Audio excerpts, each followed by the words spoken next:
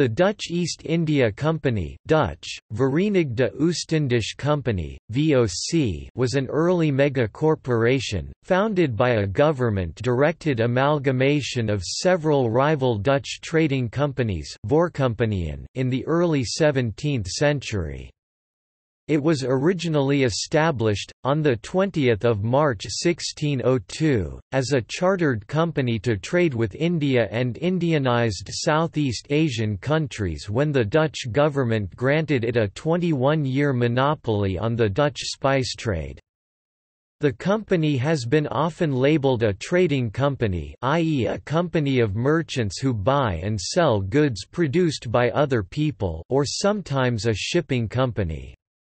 However, the VOC was in fact a proto-conglomerate company, diversifying into multiple commercial and industrial activities such as international trade especially intra-Asian trade, shipbuilding, both production and trade of East Indian spices, Formosan sugarcane, and South African wine. The company was a transcontinental employer and an early pioneer of outward foreign direct investment. The company's investment projects helped raise the commercial and industrial potential of many underdeveloped or undeveloped regions of the world in the early modern period. In the early 1600s, by widely issuing bonds and shares of stock to the general public, the VOC became the world's first formally listed public company. In other words, it was the first corporation to be ever actually listed on an official stock exchange. The VOC was influential in the rise of corporate-led globalization in the early modern period. With its pioneering institutional innovations and powerful roles in global business history, the company is often considered by many to be the forerunner of modern corporations. In many respects, modern-day corporations are all the direct descendants of the VOC model. It was the VOC's 17th-century institutional innovations and business practices that laid the foundations for the rise of giant global corporations in subsequent centuries. As a highly significant and formidable socio-politico-economic force of the modern-day world, to become the dominant factor in almost all economic systems today, whether for better or worse. The VOC also served as the direct model for the organisational reconstruction of the English, British East India Company in 1657. The company, for nearly 200 years of its existence (1602–1800), had effectively transformed itself from a corporate entity into a state or an empire in its own right. One of the most influential and best expertly researched business enterprises in history, the VOC's world has been the subject of a vast amount of literature that includes both fiction and non-fiction works. Dubbed the VOC Republic or VOC Empire by some, the company was historically an exemplary company state rather than a pure for-profit corporation.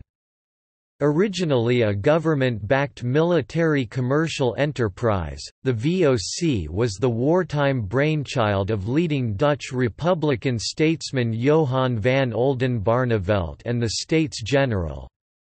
From its inception in 1602, the company was not only a commercial enterprise but also effectively an instrument of war in the young Dutch Republic's revolutionary global war against the powerful Spanish Empire and Iberian Union, 1579–1648.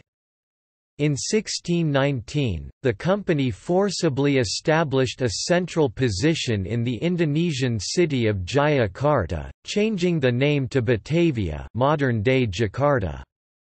Over the next two centuries the company acquired additional ports as trading bases and safeguarded their interests by taking over surrounding territory. To guarantee its supply it established positions in many countries and became an early pioneer of outward foreign direct investment. In its foreign colonies the VOC possessed quasi-governmental powers, including the ability to wage war, imprison and execute convicts, negotiate treaties, strike its own coins, and establish colonies. With increasing importance of foreign posts, the company is often considered the world's first true transnational corporation. Along with the Dutch West India Company WIC, GWIC, the VOC became seen as the international arm of the Dutch Republic and the symbolic power of the Dutch Empire. To further its trade routes, the VOC funded exploratory voyages such as those led by Willem Janszoon Duyfken, Henry Hudson Halve Maen, and Abel Tasman who revealed largely unknown landmasses to the Western world. In the Golden Age of Netherlandish cartography c. 1570s to 1670s, VOC navigators and cartographers helped shape geographical knowledge of the world as we know it today. Socioeconomic changes in Europe, the shift in power balance, and less successful financial management resulted in a slow decline of the VOC between 1720 and 1799. After the financially disastrous Fourth Anglo-Dutch War 1780 the company was first nationalised in 1796, and finally dissolved in 1799. All assets were taken over by the government with VOC territories becoming Dutch government colonies. In spite of the VOC's historic roles and contributions, the company has long been heavily criticized for its monopoly policy, exploitation, colonialism, uses of violence, and slavery.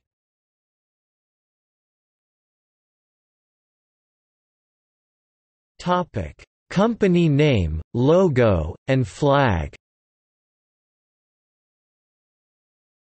In Dutch the name of the company is Verenigde Oostindische Compagnie or Verenigde Oost-Indische Compagnie, abbreviated to VOC. The company's monogram logo was possibly in fact the first globally recognized corporate logo. The logo of the VOC consisted of a large capital V with an O on the left and AC on the right leg. It appeared on various corporate items, such as cannons and coins. The first letter of the hometown of the chamber conducting the operation was placed on top. The monogram, versatility, flexibility, clarity, simplicity, symmetry, timelessness, and symbolism are considered notable characteristics of the VOC's professionally designed logo, those ensured its success at a time when the concept of the corporate identity was virtually unknown. An Australian vintner has used the VOC logo since the late 20th century, having re-registered the company's name for the purpose. The flag of the company was red, white, and blue, with the company logo embroidered on it. Around the world and especially in English-speaking countries, the VOC is widely known as the Dutch East India Company. The name Dutch East India Company is used to make a distinction with the British East India Company (EIC) and other East Indian companies such as the Danish East India Company, French East India Company, Portuguese East India Company, and the Swedish East India Company. The company's alternative names that have been used include the Dutch East Indies Company, United East India Company, United East Indian Company, United East Indies Company, Jan Company, or Jan Company.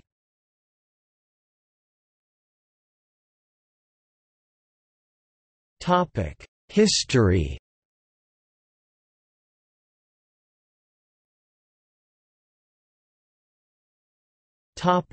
Origins Before the Dutch revolt, Antwerp had played an important role as a distribution centre in northern Europe. After 1591, however, the Portuguese used an international syndicate of the German Fuggers and Welsers, and Spanish and Italian firms, that used Hamburg as the northern staple port to distribute their goods, thereby cutting Dutch merchants out of the trade. At the same time, the Portuguese trade system was unable to increase supply to satisfy growing demand, in particular the demand for pepper. Demand for spices was relatively inelastic, and therefore each lag in the supply of pepper caused a sharp rise in pepper prices. In 1580 the Portuguese crown was united in a personal union with the Spanish crown, with which the Dutch Republic was at war. The Portuguese Empire therefore became an appropriate target for Dutch military incursions. These factors motivated Dutch merchants to enter the intercontinental spice trade themselves. Further, a number of Dutchmen like Jan Huygen van Linschoten and Cornelis de Houtman obtained first-hand knowledge of the «secret» Portuguese trade routes and practices, thereby providing opportunity. The stage was thus set for the four-ship exploratory expedition by Frederick de Houtman in 1595 to Banten, the main pepper port of West Java, where they clashed with both the Portuguese and indigenous Indonesians. Houtman's expedition then sailed east along the north coast of Java, losing 12 crew to a Javanese attack at Sidayu and killing a local ruler in Madura. Half the crew were lost before the expedition made it back to the Netherlands the following year, but with enough spices to make a considerable profit. In 1598, an increasing number of fleets were sent out by competing merchant groups from around the Netherlands. Some fleets were lost, but most were successful, with some voyages producing high profits. In March 1599, a fleet of eight ships under Jacob van Neck was the first Dutch fleet to reach the Spice Islands of Maluku, the source of pepper, cutting out the Javanese middlemen. The ships returned to Europe in 1599 and 1600 and the expedition made a 400% profit. In 1600, the Dutch joined forces with the Muslim Hituese on Ambon Island in an anti-Portuguese alliance, in return for which the Dutch were given the sole right to purchase spices from Hitu. Dutch control of Ambon was achieved when the Portuguese surrendered their fort in Ambon to the Dutch Hituese alliance. In 1613, the Dutch expelled the Portuguese from their Solor fort, but a subsequent Portuguese attack led to a second change of hands. Following this second reoccupation, the Dutch once again captured Solor. In 1636, east of Solor, on the island of Timor, Dutch advances were halted by an autonomous and powerful group of Portuguese Eurasians called the Topasses. They remained in control of the sandalwood trade and their resistance lasted throughout the 17th and 18th centuries, causing Portuguese Timor to remain under the Portuguese sphere of control.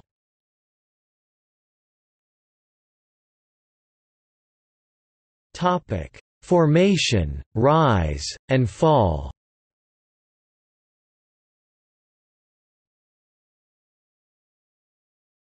Topic: Formative years. At the time, it was customary for a company to be set up only for the duration of a single voyage and to be liquidated upon the return of the fleet. Investment in these expeditions was a very high-risk venture, not only because of the usual dangers of piracy, disease and shipwreck, but also because the interplay of inelastic demand and relatively elastic supply of spices could make prices tumble at just the wrong moment, thereby ruining prospects of profitability. To manage such risk the forming of a cartel to control supply would seem logical.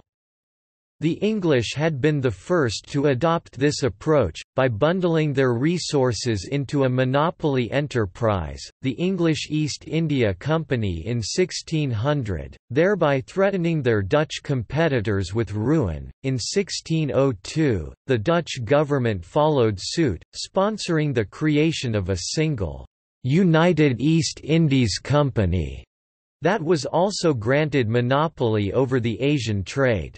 For a time in the 17th century, they were able to monopolize the trade in nutmeg, mace, and cloves and to sell these spices in Europe and India at 14 to 17 times the price they paid in Indonesia. While Dutch profits soared, the local economy of the Spice Islands was destroyed. With a capital of 6,440,200 guilders, the charter of the new company empowered it to build forts, maintain armies, and conclude treaties with Asian rulers.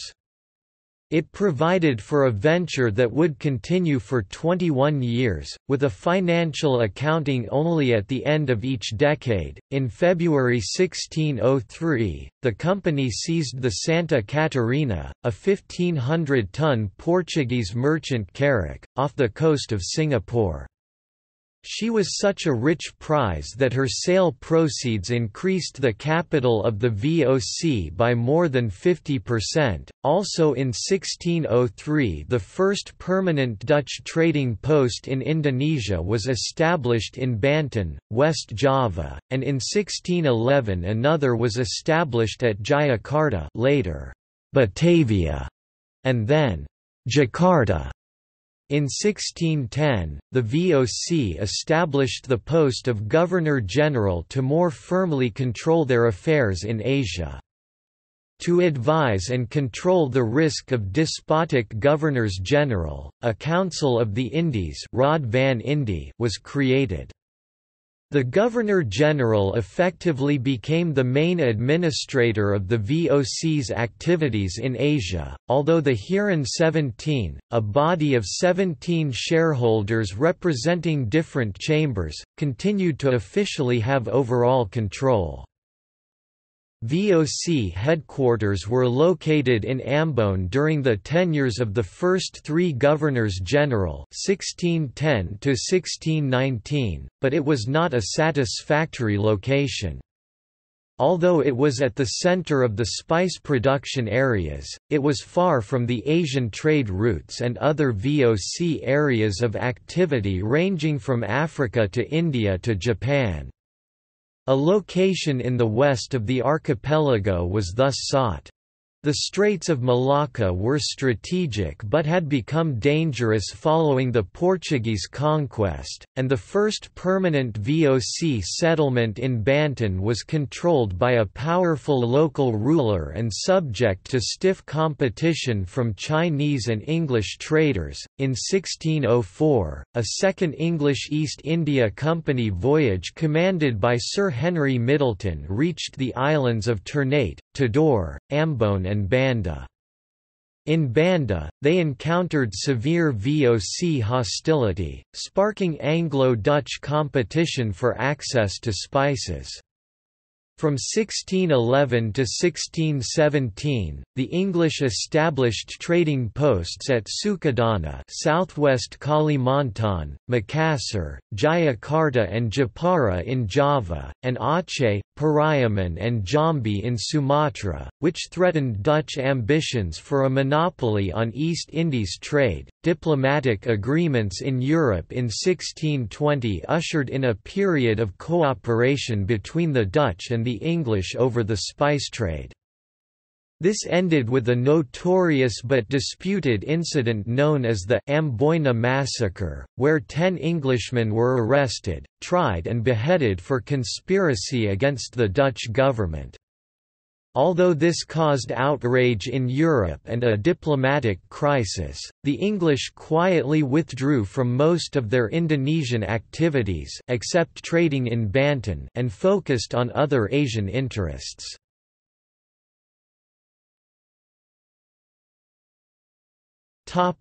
Growth.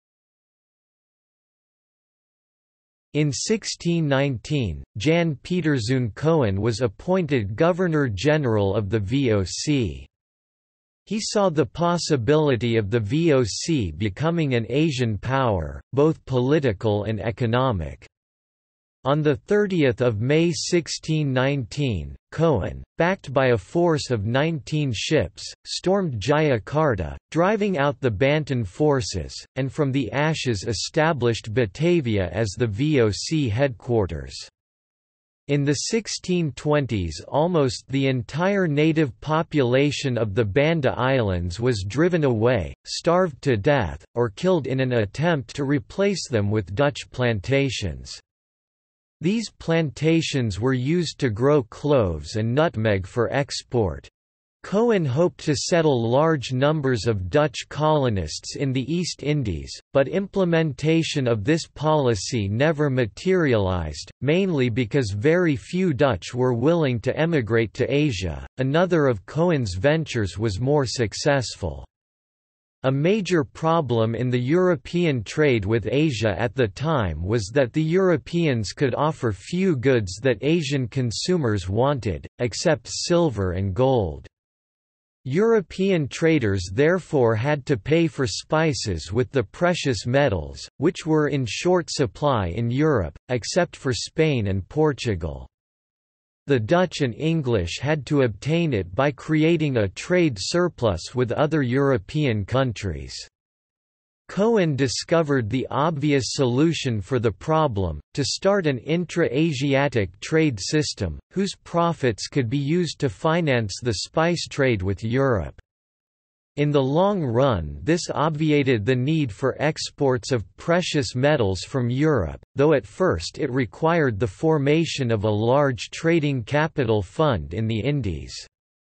The VOC reinvested a large share of its profits to this end in the period up to 1630. The VOC traded throughout Asia. Ships coming into Batavia from the Netherlands carried supplies for VOC settlements in Asia. Silver and copper from Japan were used to trade with India and China for silk, cotton, porcelain, and textiles. These products were either traded within Asia for the coveted spices or brought back to Europe. The VOC was also instrumental in introducing European ideas and technology to Asia. The company supported Christian missionaries and traded modern technology with China and Japan. A more peaceful VOC trade post on Dejima, an artificial island off the coast of Nagasaki, was for more than 200 years the only place where Europeans were permitted to trade with Japan. When the VOC tried to use military force to make Ming dynasty China open up to Dutch trade, the Chinese defeated the Dutch in a war over the Penghu Islands from 1623 to 1624, forcing the VOC to abandon Penghu for Taiwan. The Chinese defeated the VOC again at the Battle of Liaoluo Bay in 1633.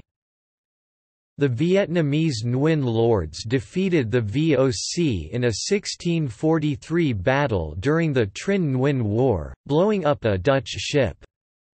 The Cambodians defeated the VOC in the Cambodian-Dutch War from 1643 to 1644 on the Mekong River. In 1640, the VOC obtained the port of Galle, Ceylon, from the Portuguese and broke the latter's monopoly of the cinnamon trade. In 1658, Gerard Pietersz.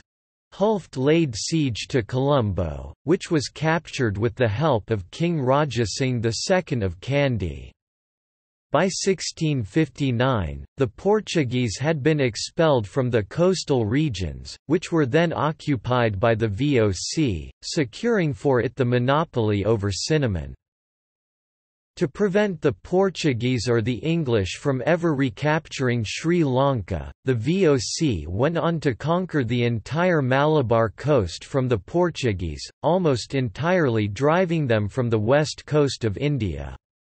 When news of a peace agreement between Portugal and the Netherlands reached Asia in 1663, Goa was the only remaining Portuguese city on the west coast. In 1652, Jan van Riebeeck established an outpost at the Cape of Good Hope the southwestern tip of Africa, now Cape Town, South Africa to resupply VOC ships on their journey to East Asia. This post later became a full-fledged colony, the Cape Colony, when more Dutch and other Europeans started to settle there. Through the 17th century VOC trading posts were also established in Persia, Bengal, Malacca, Siam, Formosa now Taiwan, as well as the Malabar and Coromandel coasts in India. Direct access to mainland China came in 1729 when a factory was established in Canton. In 1662, however, Koxinga expelled the Dutch from Taiwan see History of Taiwan. In 1663, the VOC signed the Painan Treaty with several local lords in the Painan area that were revolting against the Aceh Sultanate.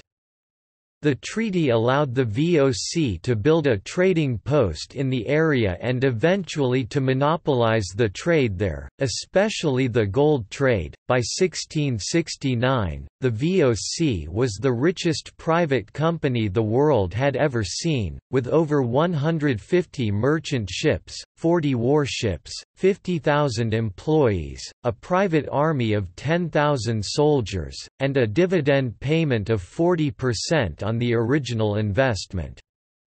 Many of the VOC employees intermixed with the indigenous peoples and expanded the population of Indos in pre-colonial history.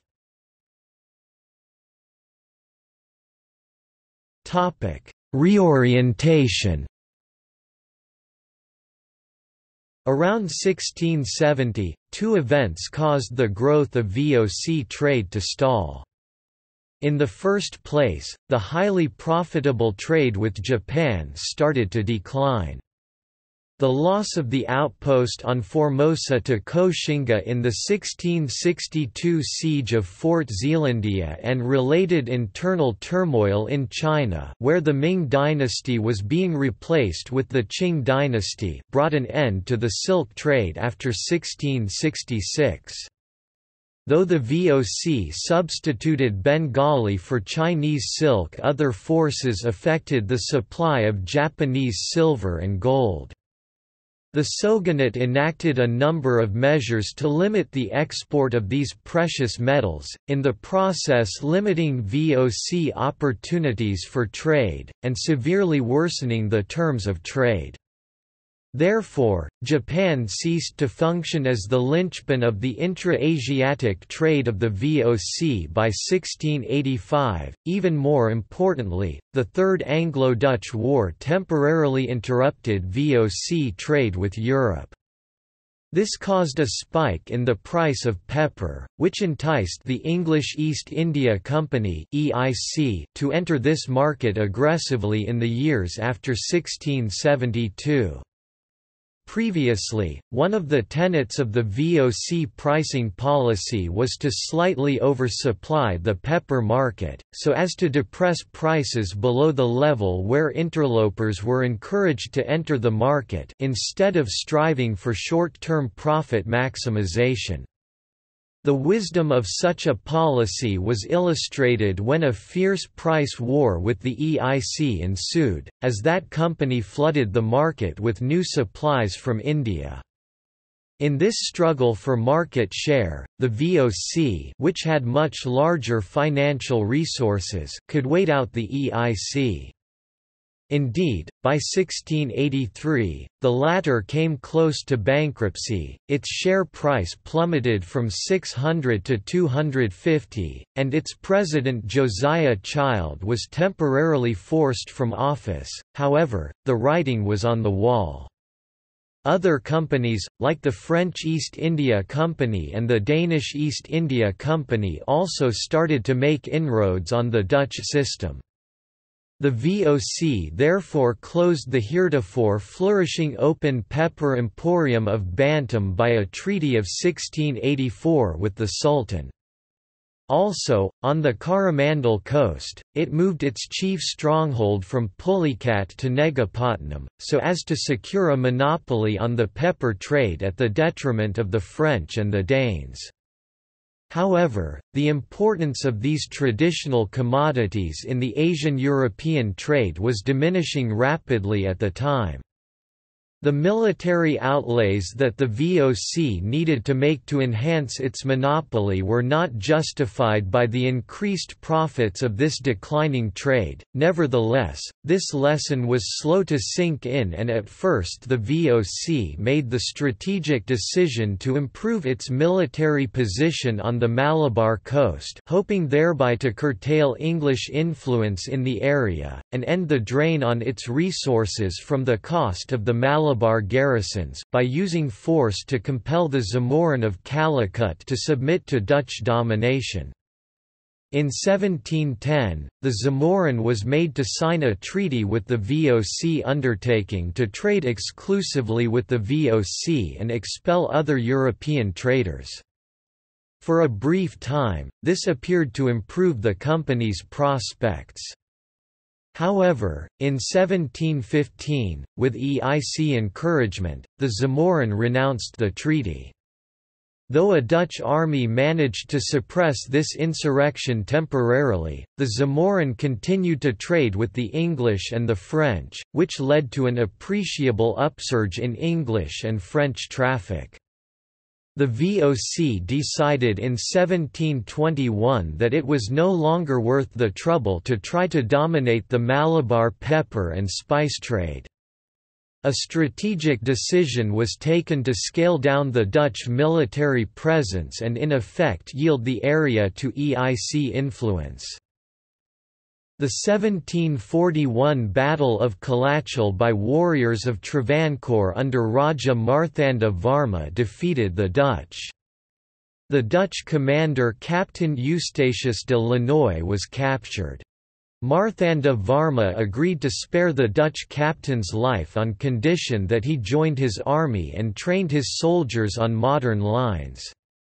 This defeat in the Travancore-Dutch War is considered the earliest example of an organized Asian power overcoming European military technology and tactics, and it signaled the decline of Dutch power in India. The attempt to continue as before as a low-volume high-profit business enterprise with its core business in the spice trade had therefore failed. The company had however already reluctantly followed the example of its European competitors in diversifying into other Asian commodities, like tea, coffee, cotton, textiles, and sugar. These commodities provided a lower profit margin and therefore required a larger sales volume to generate the same amount of revenue. This structural change in the commodity composition of the VOC's trade started in the early 1680s, after the temporary collapse of the EIC around 1683 offered an excellent opportunity to enter these markets. The actual cause for the change lies, however, in two structural features of this new era.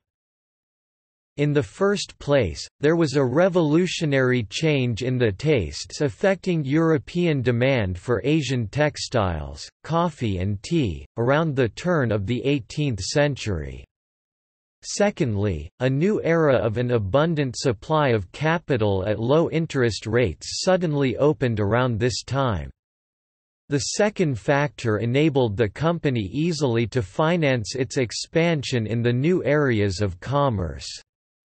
Between the 1680s and 1720s, the VOC was therefore able to equip and man an appreciable expansion of its fleet, and acquire a large amount of precious metals to finance the purchase of large amounts of Asian commodities, for shipment to Europe.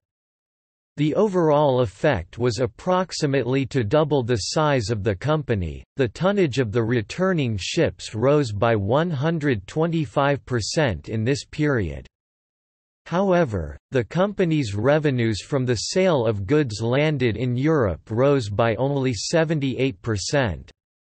This reflects the basic change in the VOC's circumstances that had occurred, it now operated in new markets for goods with an elastic demand, in which it had to compete on an equal footing with other suppliers. This made for low profit margins.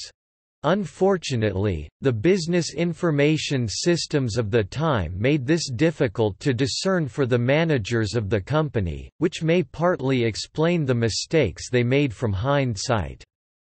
This lack of information might have been counteracted as in earlier times in the VOC's history by the business acumen of the directors. Unfortunately by this time these were almost exclusively recruited from the political regent class, which had long since lost its close relationship with merchant circles. Low profit margins in themselves do not explain the deterioration of revenues. To a large extent the costs of the operation of the VOC had a fixed Character military establishments, maintenance of the fleet and such. Profit levels might therefore have been maintained if the increase in the scale of trading operations that in fact took place had resulted in economies of scale. However, the larger ships transported the growing volume of goods, labor productivity did not go up sufficiently to realize these. In general the company's overhead rose in step with the growth in trade volume, declining gross margins translated directly into a decline in profitability of the invested capital. The era of expansion was one of profitless growth, Specifically, T he long-term average annual profit in the VOC's 1630–70 Golden Age was 2.1 million guilders, of which just under half was distributed as dividends and the remainder reinvested. The long-term average annual profit in the expansion age 1680 1730 was 2 0 million guilders, of which three quarters was distributed as dividend and one quarter reinvested. In the earlier period, profits averaged 18% of total revenues, in the latter period, 10%. The annual return of invested capital in the earlier period stood at approximately 6%, in the latter period, 3.4%. Nevertheless, in the eyes of investors, the VOC did not do too badly. The share price hovered consistently around the 400 mark from the mid-1680s excepting a hiccup around the Glorious Revolution in 1688, and they reached an all-time high of around 642 in the 1720s. VOC shares then yielded a return of 3.5%, only slightly less than the yield on Dutch government bonds.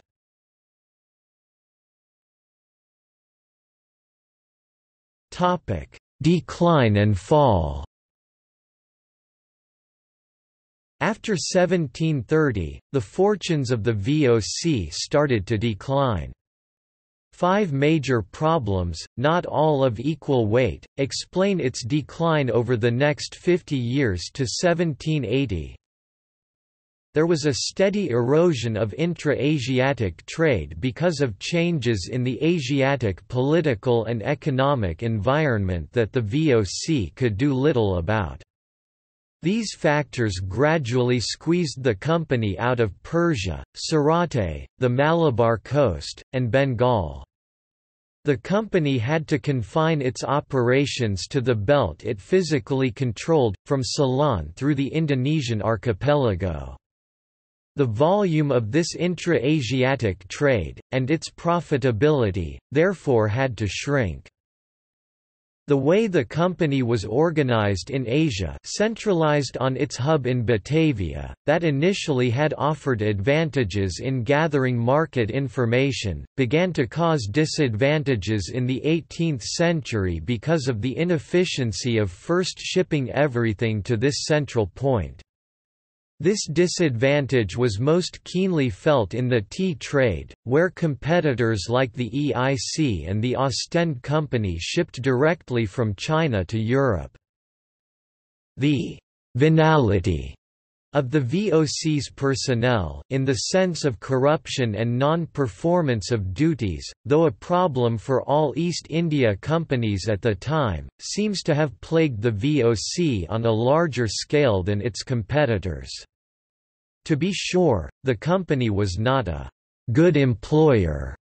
Salaries were low, and private account trading was officially not allowed. Not surprisingly, it proliferated in the 18th century to the detriment of the company's performance. From about the 1790s onward, the phrase perished under corruption vergaan onder corruptie, also abbreviated VOC in Dutch came to summarize the company's future.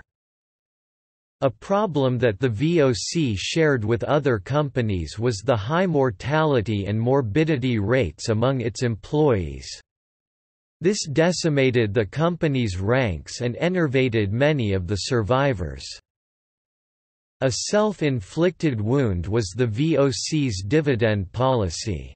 The dividends distributed by the company had exceeded the surplus it garnered in Europe in every decade from 1690 to 1760 except 1710 to 1720. However, in the period up to 1730 the directors shipped resources to Asia to build up the trading capital there. Consolidated bookkeeping therefore probably would have shown that total profits exceeded dividends. In addition, between 1700 and 1740 the company retired 5.4 million guilders of long-term debt. The company therefore was still on a secure financial footing in these years. This changed after 1730. While profits plummeted the Bewindhebbers only slightly decreased dividends from the earlier level. Distributed dividends were therefore in excess of earnings in every decade but one 1760 to 1770. To accomplish this, the Asian capital stock had to be drawn down by 4 million guilders between 1730 and 1780, and the liquid capital available in Europe was reduced by 20 million guilders in the same period. The directors were therefore constrained to replenish the company's liquidity by resorting to short-term financing from anticipatory loans, backed by expected revenues from home-bound fleets. Despite these problems, the VOC in 1780 remained an enormous operation. Its capital in the Republic, consisting of ships and goods in inventory, totaled 28 million guilders, its capital in Asia, consisting of the liquid trading fund and goods en route to Europe, totaled 46 million guilders. Total capital, net of outstanding debt, stood at 62 million guilders. The prospects of the company at this time therefore were not hopeless, had one of the plans for reform been undertaken successfully. However, the Fourth Anglo-Dutch War intervened. British attacks in Europe and Asia reduced the VOC fleet by half, removed valuable cargo from its control, and devastated its remaining power in Asia. The direct losses of the VOC can be calculated at 43 million guilders. Loans to keep the company operating reduced its net assets to zero. From 1720 on, the market for sugar from Indonesia declined as the competition from cheap sugar from Brazil increased. European markets became saturated. Dozens of Chinese sugar traders went bankrupt, which led to massive unemployment, which in turn led to gangs of unemployed coolies. The Dutch government in Batavia did not adequately respond to these problems. In 1740, rumors of deportation of the gangs from the Batavia area led to widespread rioting. The Dutch military searched houses of Chinese in Batavia for weapons. When a house accidentally burnt down, military and impoverished citizens started slaughtering and pillaging the Chinese community. This massacre of the Chinese was deemed sufficiently serious for the board of the VOC to start an official investigation into the government of the Dutch East Indies for the first time in its history. After the Fourth Anglo-Dutch War, the VOC was a financial wreck. After vain attempts at reorganisation by the provincial states of Holland and Zeeland, it was nationalised by the new Batavian Republic on 1 March 1796. The VOC charter was renewed several times, but was allowed to expire on 31 December 1799. Most of the possessions of the former VOC were subsequently occupied by Great Britain during the Napoleonic Wars, but after the new United Kingdom of the Netherlands was created by the Congress of Vienna, some of these were restored to this successor state of the Dutch Republic by the Anglo-Dutch Treaty of 1814.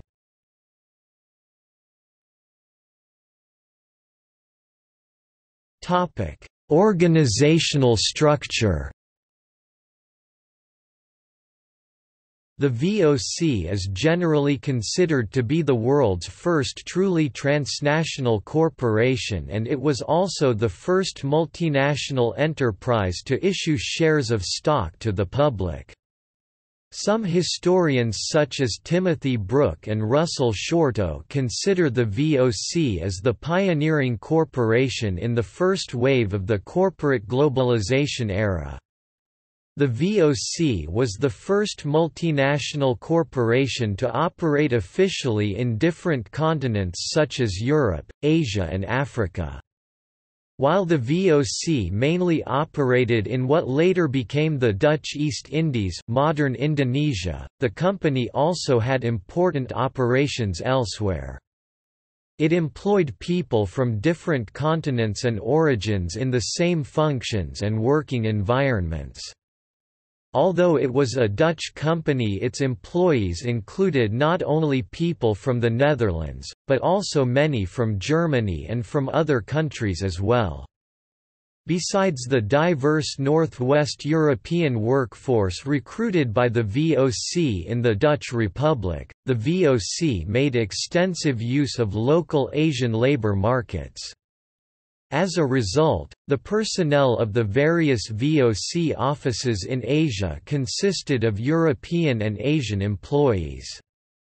Asian or Eurasian workers might be employed as sailors, soldiers, writers, carpenters, smiths, or as simple unskilled workers. At the height of its existence the VOC had 25,000 employees who worked in Asia and 11,000 who were en route. Also, while most of its shareholders were Dutch, about a quarter of the initial shareholders were Zuid-Nederlanders people from an area that includes modern Belgium and Luxembourg and there were also a few dozen Germans. The VOC had two types of shareholders, the Participanten, who could be seen as non-managing members, and the 76 Bewindhebbers later reduced to 60 who acted as managing directors. This was the usual setup for Dutch joint stock companies at the time. The innovation in the case of the VOC was that the liability of not just the participanten but also of the Bewindhebbers was limited to the paid-in capital usually, Bewindhebbers had unlimited liability. The VOC therefore was a limited liability company. Also, the capital would be permanent during the lifetime of the company. As a consequence, investors that wished to liquidate their interest in the interim could only do this by selling their share to others on the Amsterdam Stock Exchange. Confusion of Confusions, a 1688 dialogue by the Sephardi Jew Joseph de la Vega analyzed the workings of this one stock exchange. The VOC consisted of six chambers kamers in port cities, Amsterdam, Delft, Rotterdam, Enkhuizen, Middelburg and Hoorn. Delegates of these chambers convened as the Heeren 17 the Lord 17. They were selected from the Bewindhebber class of shareholders. Of the Heeren 17, eight delegates were from the Chamber of Amsterdam, one short of a majority on its own, four from the Chamber of Zeeland, and one from each of the smaller chambers, while the 17th seat was alternatively from the Chamber of Middelburg Zeeland or rotated among the five small chambers. Amsterdam had thereby the decisive voice. The Zealanders in particular had misgivings about this arrangement at the beginning. The fear was not unfounded, because in practice it meant Amsterdam stipulated what happened. The six chambers raised the start-up capital of the Dutch East India Company. The raising of capital in Rotterdam did not go so smoothly. A considerable part originated from inhabitants of Dordrecht. Although it did not raise as much capital as Amsterdam or Middelburg Zeeland, Enkhuizen had the largest input in the share capital of the VOC. Under the first 358 shareholders, there were many small entrepreneurs, who dared to take the risk.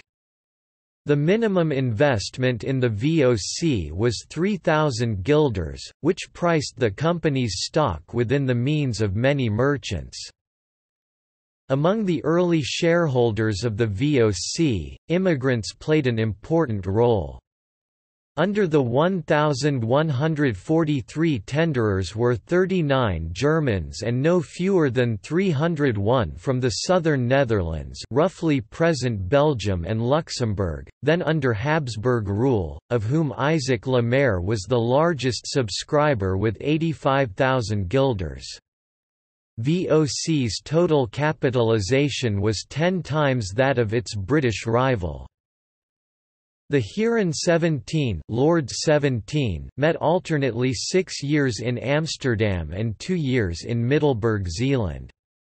They defined the VOC's general policy and divided the tasks among the chambers. The chambers carried out all the necessary work, built their own ships and warehouses and traded the merchandise. The Heeren 17 sent the ship's masters off with extensive instructions on the route to be navigated, prevailing winds, currents, shoals and landmarks. The VOC also produced its own charts. In the context of the Dutch–Portuguese War the company established its headquarters in Batavia, Java now Jakarta, Indonesia. Other colonial outposts were also established in the East Indies, such as on the Maluku Islands, which include the Banda Islands, where the VOC forcibly maintained a monopoly over nutmeg and mace. Methods used to maintain the monopoly involved extortion and the violent suppression of the native population, including mass murder. In addition, VOC representatives sometimes used the tactic of burning spice trees to force indigenous populations to grow other crops, thus artificially cutting the supply of spices like nutmeg and cloves.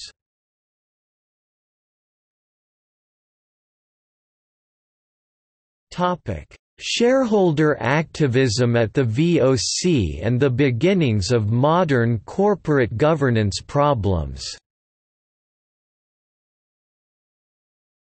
The 17th-century Dutch businessmen, especially the VOC investors, were possibly the history's first recorded investors to seriously consider the corporate governance's problems. Isaac Le Maire, who is known as history's first recorded short seller, was also a sizable shareholder of the VOC. In 1609, he complained of the VOC's shoddy corporate governance. On 24 January 1609, Le Maire filed a petition against the VOC, marking the first recorded expression of shareholder activism. In what is the first recorded corporate governance dispute, Le Maire formally charged that the VOC's board of directors the Heeren 17 sought to "...retain another's money for longer or use it ways other than the latter wishes." and petitioned for the liquidation of the VOC in accordance with standard business practice. Initially the largest single shareholder in the VOC and a Bewindhebber sitting on the board of governors, Le Maire apparently attempted to divert the firm's profits to himself by undertaking 14 expeditions under his own accounts instead of those of the company. Since his large shareholdings were not accompanied by greater voting power, Le Maire was soon ousted by other governors in 1605 on charges of embezzlement, and was forced to sign an agreement not to compete with the VOC. Having retained stock in the company following this incident, in 1609 Le Maire would become the author of what is celebrated as first recorded expression of shareholder advocacy at a publicly traded company. In 1622, the history's first recorded shareholder revolt also happened among the VOC investors who complained that the company account books had been «smeared with bacon» so that they might be «eaten by dogs». The investors demanded a «reconninge» A proper financial audit. The 1622 campaign by the shareholders of the VOC is a testimony of genesis of corporate social responsibility (CSR) in which shareholders staged protests by distributing pamphlets and complaining about management self-enrichment and secrecy.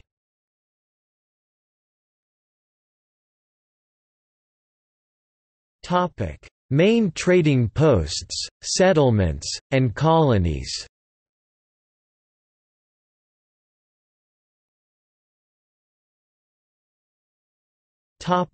Europe.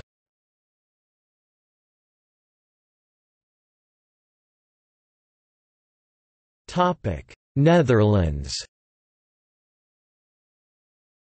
Amsterdam, global headquarters. Delft Enkhuizen Hoorn Middelburg Rotterdam. Topic Africa.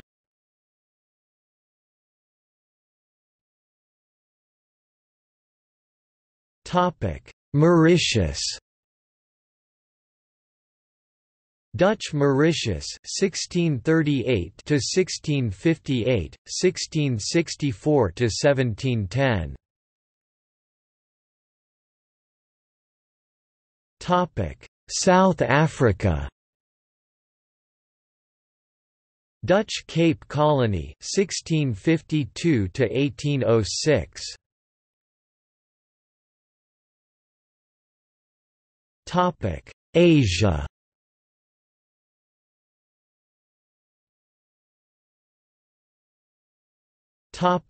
Indonesia Batavia, Dutch East Indies Topic. Indian subcontinent Dutch Coromandel 1608 to 1825 Dutch Sarate 1616 to 1825 Dutch Bengal 1627 to 1825 Dutch Ceylon 1640 to 1796 Dutch Malabar 1661 to 1795 Topic: Japan.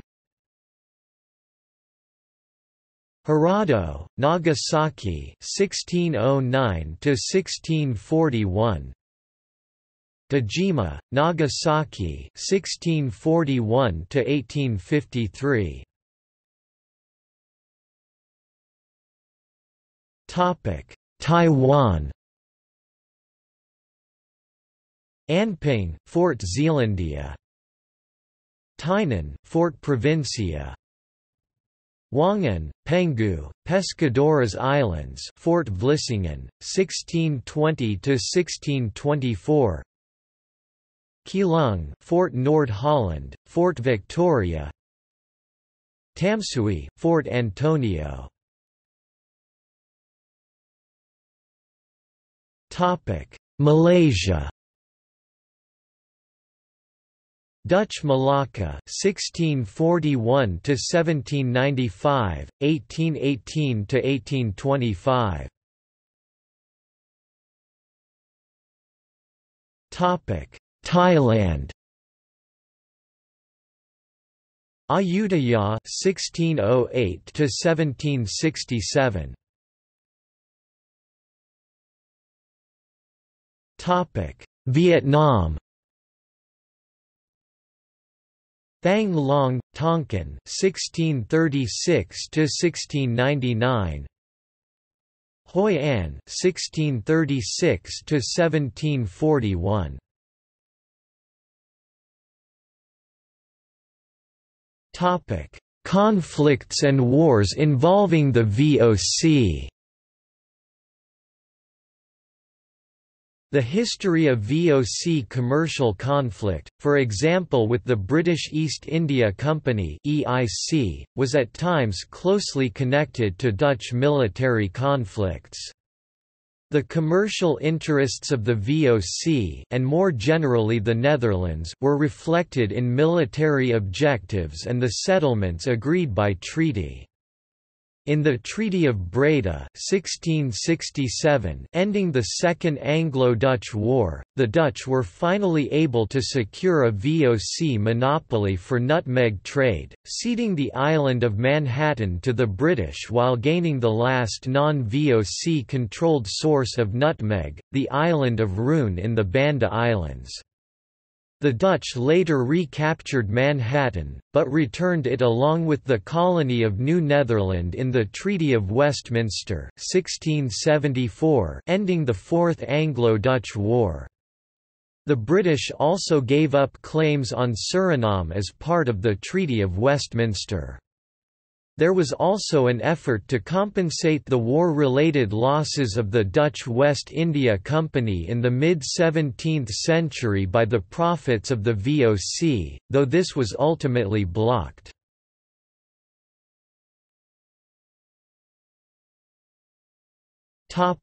Historical roles and legacy In terms of global business history, the lessons from the VOC's successes or failures are critically important. In his book Amsterdam, A History of the World's Most Liberal City 2013, American author and historian Russell Shorto summarizes the VOC's importance in world history. Like the oceans it mastered, the VOC had a scope that is hard to fathom. One could craft a defensible argument that no company in history has had such an impact on the world. Its surviving archives in Cape Town, Colombo, Chennai, Jakarta, and The Hague have been measured, by a consortium applying for a UNESCO grant to preserve them, in kilometers. In innumerable ways the VOC both expanded the world and brought its far-flung regions together. It introduced Europe to Asia and Africa, and vice versa, while its sister multinational, the West India Company, set New York City in motion and colonized Brazil and the Caribbean islands. It pioneered globalization and invented what might be the first modern bureaucracy. It advanced cartography and shipbuilding, it fostered disease, slavery, and exploitation on a scale never before imaged. A pioneering early model of the multinational corporation in its modern sense, the company is also considered to be the world's first true transnational corporation. In the early 1600s, the VOC became the world's first formally listed public company because it was the first corporation to be ever actually listed on a formal stock exchange. The VOC had a massive influence on the evolution of the modern corporation by creating an institutional prototype for subsequent large-scale business enterprises in particular large corporations like multinational, transnational, global corporations and their rise to become a highly significant socio-politico-economic force of the modern world as we know it today. In many respects, modern-day publicly listed global companies including Forbes Global 2000 companies are all descendants of a business model pioneered by the VOC in the 17th century. Like modern-day major corporations, in many ways, the post-1657 English-British East India Company's operational structure was a derivative of the earlier VOC model. During its golden age, the company played crucial roles in business, financial, socio-politico-economic, military-political, diplomatic, ethnic, and exploratory maritime history of the world. In the early modern period, the VOC was also the driving force behind the rise of corporate-led globalization, corporate power, corporate identity, corporate culture, corporate social responsibility, corporate ethics, corporate governance, corporate finance, corporate capitalism, and finance capitalism. With its pioneering institutional innovations and powerful roles in world history, the company is considered by many to be the first major, first modern, first global, most valuable, and most influential corporation ever seen. The VOC was also arguably the first historical model of the megacorporation.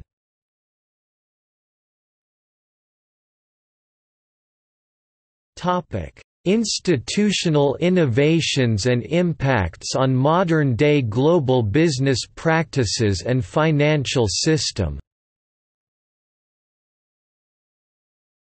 The VOC played a crucial role in the rise of corporate-led globalization, corporate governance, corporate identity, corporate social responsibility, corporate finance, modern entrepreneurship, and financial capitalism.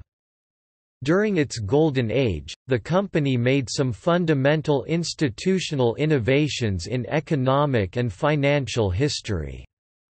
These financially revolutionary innovations allowed a single company like the VOC to mobilize financial resources from a large number of investors and create ventures at a scale that had previously only been possible for monarchs. In the words of Canadian historian and sinologist Timothy Brook, the Dutch East India Company, the VOC, as it is known, is to corporate capitalism what Benjamin Franklin's kite is to electronics, the beginning of something momentous that could not have been predicted at the time. The birth and growth of the VOC especially in the 17th century is considered by many to be the official beginning of the corporate globalization era with the rise of large-scale business enterprises multinational, transnational corporations in particular as a highly formidable socio-politico-economic force that significantly affects people's lives in every corner of the world today, whether for better or worse. As the world's first publicly traded company and first listed company the first company to be ever listed on an official stock exchange, the VOC was the first company to issue stock and bonds to the general public. Considered by many experts to be the world's first truly modern multinational corporation, the VOC was also the first permanently organized limited liability joint stock company, with a permanent capital base. The VOC shareholders were the pioneers in laying the basis for modern corporate governance and corporate finance. The VOC is often considered as the precursor of modern corporations, if not the first truly modern corporation. It was the VOC that invented the idea of investing in the company rather than in a specific venture governed by the company. With its pioneering features such as corporate identity first globally recognized corporate logo, entrepreneurial spirit, legal personhood, transnational multinational operational structure, high and stable profitability, permanent capital, fixed capital stock, freely transferable shares and tradable securities, separation of ownership and management, and limited liability for both shareholders and managers. The VOC is generally considered a major institutional breakthrough and the model for large corporations that now dominate the global economy. The VOC was a driving force behind the rise of Amsterdam as the first modern model of international financial centers that now dominate the global financial system. With their political independence, huge maritime and financial power, Republican period Amsterdam and other Dutch cities, unlike their southern Netherlandish cousins and predecessors such as Burgundian rule Bruges and Habsburg rule Antwerp, could control crucial resources and markets directly, sending their combined fleets to almost all quarters of the globe. During the 17th century and most of the 18th century, Amsterdam had been the most influential financial center of the world. The VOC also played a major role in the creation of the world's first fully functioning financial market, with the birth of a fully fledged capital market. The Dutch were also the first who effectively used a fully fledged capital market including the bond market and the stock market to finance companies such as the VOC and the WIC. It was in the 17th-century Dutch Republic that the global securities market began to take on its modern form and it was in Amsterdam that the important institutional innovations such as publicly traded companies, transnational corporations, capital markets including bond markets and stock markets, central banking system, investment banking system, and investment funds, mutual funds were systematically operated for the first time in history. In 1602 the VOC established an exchange in Amsterdam where VOC stock and bonds could be traded in a secondary market. The VOC undertook the world's first recorded IPO in the same year. The Amsterdam Stock Exchange Amsterdamse or Beurs van Hendrik de Keyser in Dutch was also the world's first fully fledged stock exchange. While the Italian city-states produced first formal bond markets, they didn't develop the other ingredient necessary to produce a fully fledged capital market, the formal stock market. The Dutch East India Company (VOC) became the first company to offer shares of stock. The dividend averaged around 18% of capital over the course of the company's 200-year existence. The launch of the Amsterdam Stock Exchange by the VOC in the early 1600s, has long been recognized as the origin of modern stock exchanges that specialize in creating and sustaining secondary markets in the securities such as bonds and shares of stock issued by corporations. Dutch investors were the first to trade their shares at a regular stock exchange. The process of buying and selling these shares of stock in the VOC became the basis of the first official formal stock market in history. It was in the Dutch Republic that the early techniques of stock market manipulation were developed. The Dutch pioneered stock futures, stock options, short selling, bear raids, debt equity swaps, and other speculative instruments. Amsterdam businessman Joseph de la Vega's Confusion of Confusions 1688 was the earliest book about stock trading.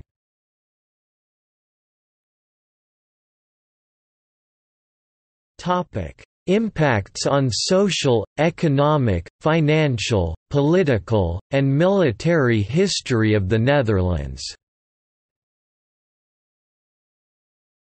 The idea of a highly competitive and organized, active mainly in Greater India but headquartered in the United Provinces of the Netherlands, Dutch government-backed privately financed military commercial enterprise was the wartime brainchild of the leading Republican statesman Johan van Oldenbarnevelt and the States General in the late 1590s.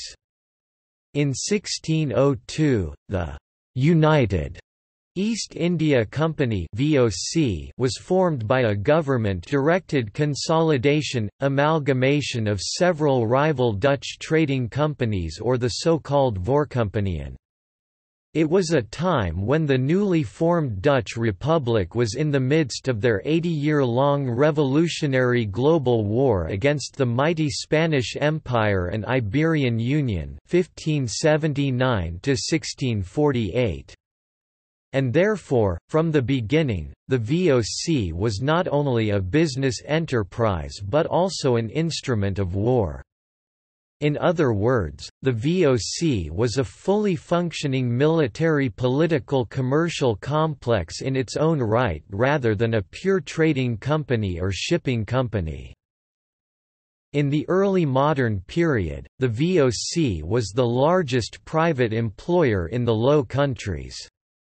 The company was a major force behind the financial revolution and economic miracle of the young Dutch Republic in the 17th century. During their Golden Age, the Dutch Republic or the Northern Netherlands, as the resource-poor and obscure cousins of the more urbanized southern Netherlands, rose to become the world's leading economic and financial superpower. Despite its lack of natural resources, except for water and wind power and its comparatively modest size and population, the Dutch Republic dominated global market in many advanced industries such as shipbuilding, shipping, water engineering, printing and publishing, map making, pulp and paper, lens making, sugarcane refining, overseas investment, financial services, and international trade. The Dutch Republic was an early industrialized nation-state in its golden age. The 17th-century Dutch mechanical innovations, inventions such as wind-powered sawmills and Hollander beaters helped revolutionize shipbuilding and paper including pulp industries in the early modern period. The VOC's shipyards also contributed greatly to the Dutch domination of global shipbuilding and shipping industries during the 1600s by 17th-century standards. As Richard Unger affirms, Dutch shipbuilding was a massive industry and larger than any shipbuilding industry which had preceded it. By the 1670s the size of the Dutch merchant fleet probably exceeded the combined fleets of England, France, Spain, Portugal, and Germany. Until the mid-1700s, the economic system of the Dutch Republic including its financial system was the most advanced and sophisticated ever seen in history. From about 1600 to 1720, the Dutch had the highest per capita income in the world, at least double that of neighbouring countries at the time. However, in a typical multicultural society of the Netherlands, home to 1 million citizens with roots in the former colonies Indonesia, Suriname and the Antilles, the VOC's history and especially its dark side has always been a potential source of controversy.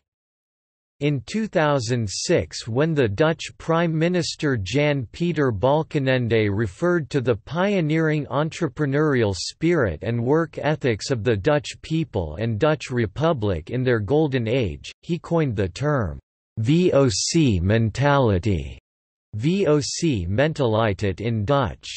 For Balkenende, the VOC represented Dutch business acumen, entrepreneurship, adventurous spirit, and decisiveness. However, it unleashed a wave of criticism, since such romantic views about the Dutch Golden Age ignores the inherent historical associations with colonialism, exploitation and violence. Balkenende later stressed that it had not been his intention to refer to that at all. But in spite of criticisms, the VOC mentality as a characteristic of the selective historical perspective on the Dutch Golden Age, has been considered a key feature of Dutch cultural policy for many years.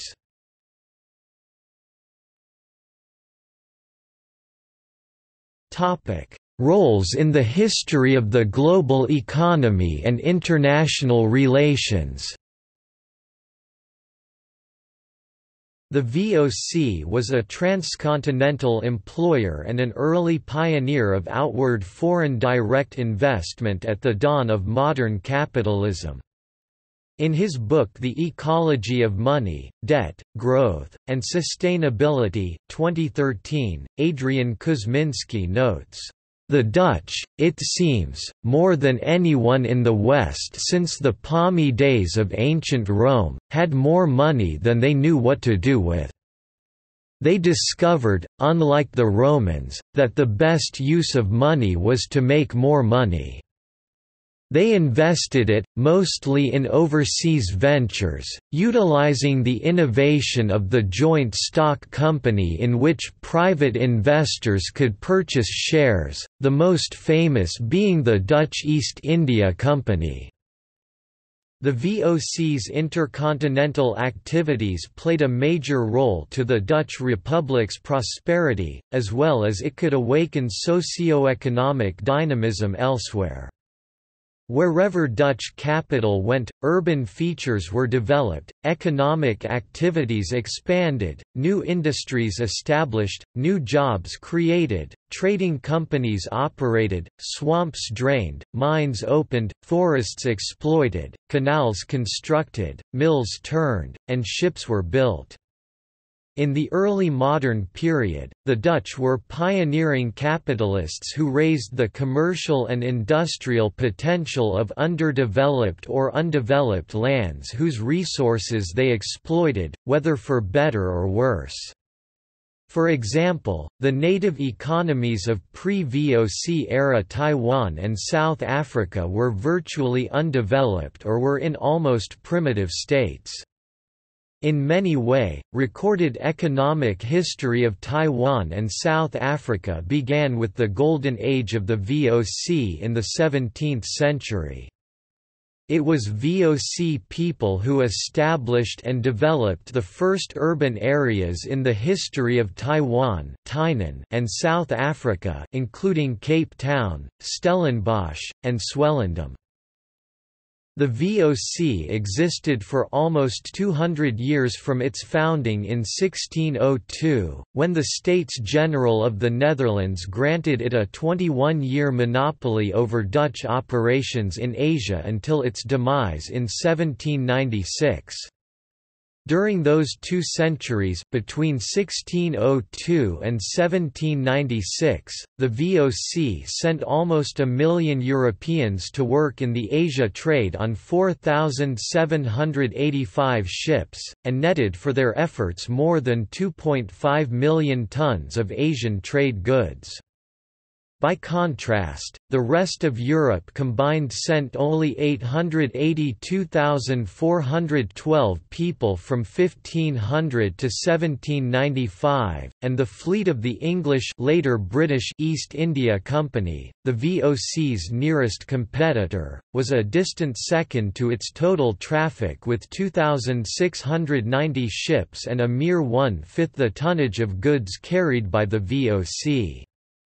The VOC enjoyed huge profits from its spice monopoly through most of the 17th century.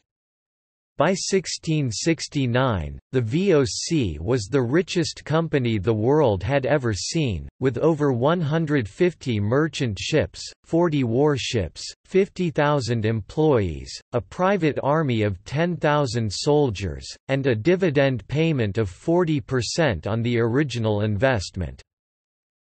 In terms of military political history, the VOC, along with the Dutch West India Company WIC, GWIC, was seen as the international arm of the Dutch Republic and the symbolic power of the Dutch Empire. The VOC was historically a military political economic complex rather than a pure trading company or shipping company. The government-backed but privately financed company was effectively a state in its own right, or a state within another state. For almost 200 years of its existence, the VOC was a key non-state geopolitical player in Eurasia. The company was much an unofficial representative of the States General of the United Provinces in foreign relations of the Dutch Republic with many states, especially Dutch-Asian relations. The company's territories were even larger than some countries.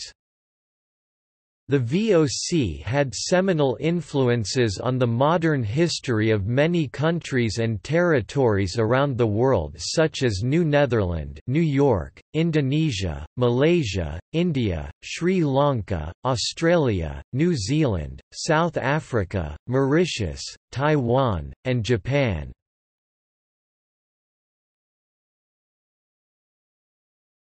Topic artistic, scientific, technological, and cultural legacies of the VOC world.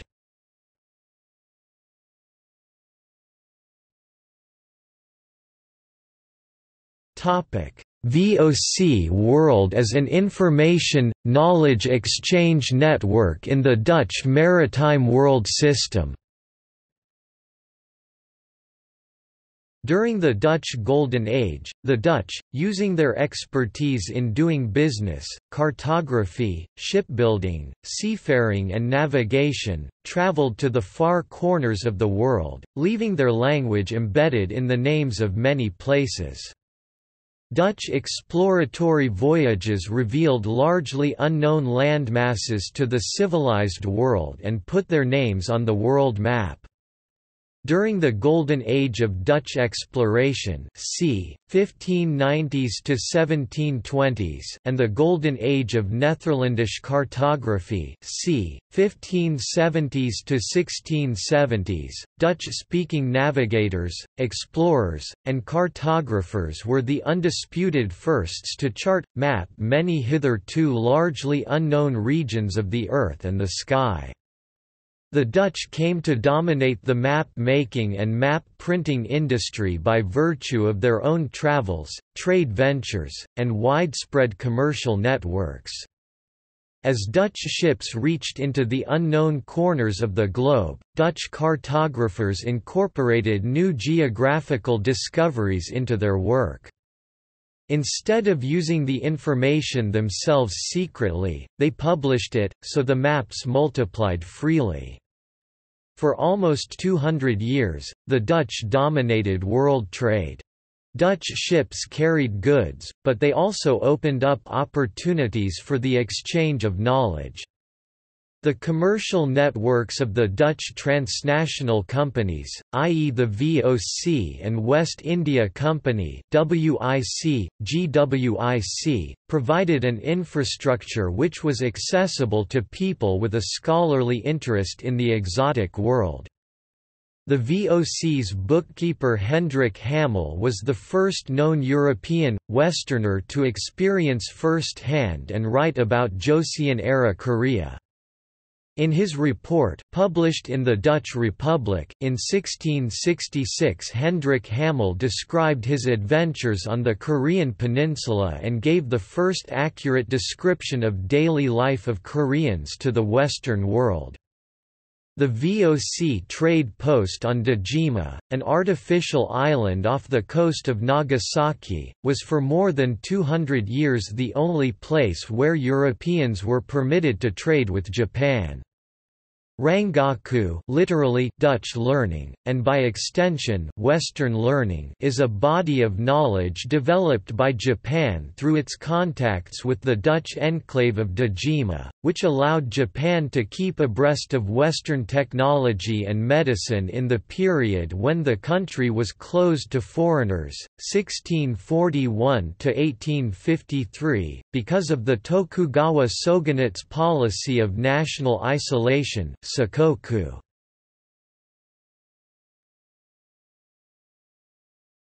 Topic: Influences on Dutch Golden Age art.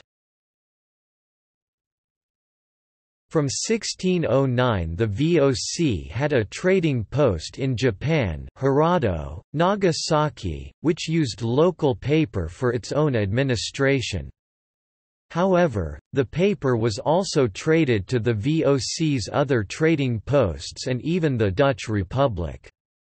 Many impressions of the Dutch Golden Age artist Rembrandt's prints were done on Japanese paper. From about 1647 Rembrandt sought increasingly to introduce variation into his prints by using different sorts of paper, and printed most of his plates regularly on Japanese paper. He also used the paper for his drawings. The Japanese paper types, which was actually imported from Japan by the VOC, attracted Rembrandt with its warm, yellowish color. They are often smooth and shiny, whilst Western paper has a more rough and matte surface. Moreover, the VOCs imported Chinese export porcelain and Japanese export porcelain wares are often depicted in many Dutch Golden Age genre paintings, especially in Jan Vermeer's paintings.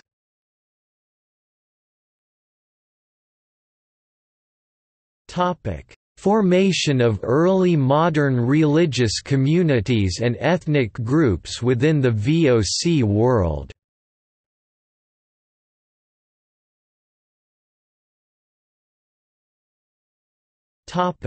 Contributions in the Age of Exploration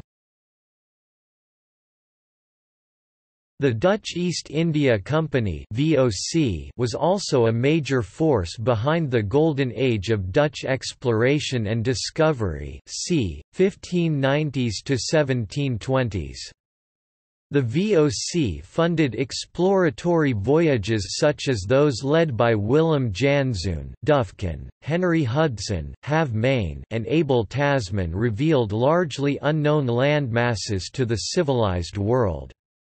Also, during the Golden Age of Dutch, Netherlandish cartography c. 1570s to 1670s, VOC navigators, explorers, and cartographers helped shape cartographic and geographic knowledge of the modern-day world.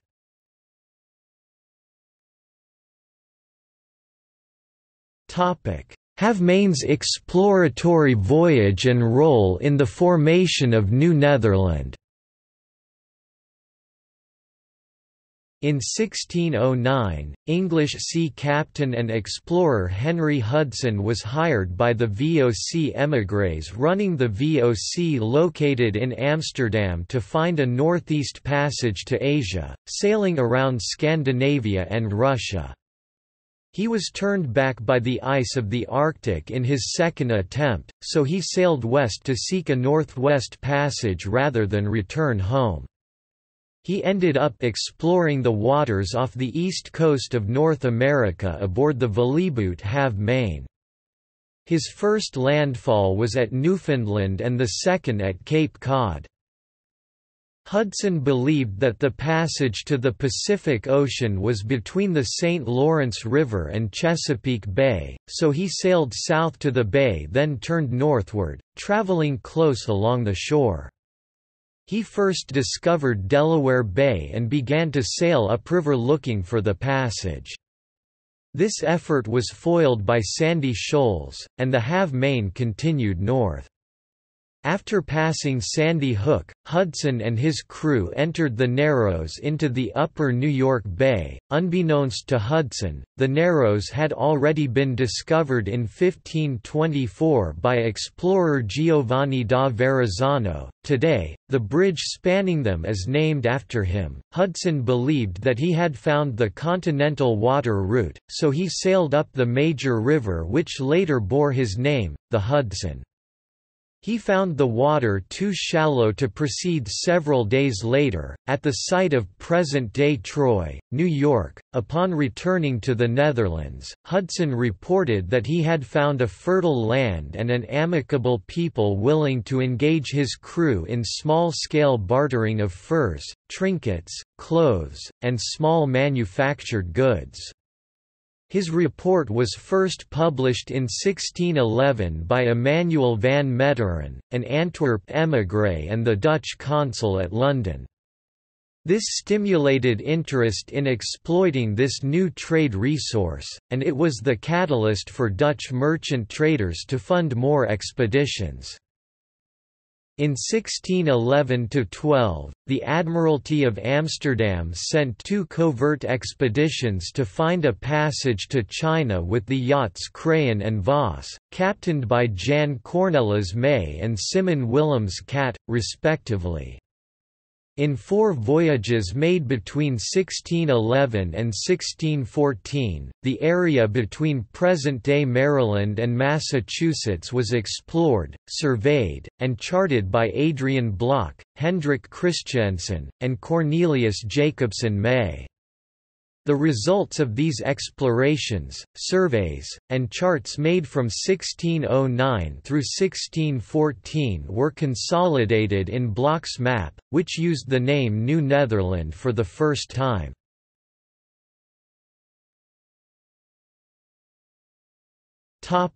Dutch discovery, exploration, and mapping of mainland Australia, Tasmania, New Zealand, and various islands.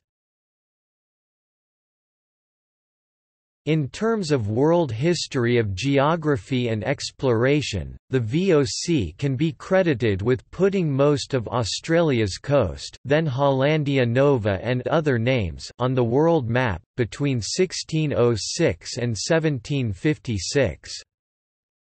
While Australia's territory originally known as New Holland never became an actual Dutch settlement or colony, Dutch navigators were the first to undisputedly explore and map Australian coastline.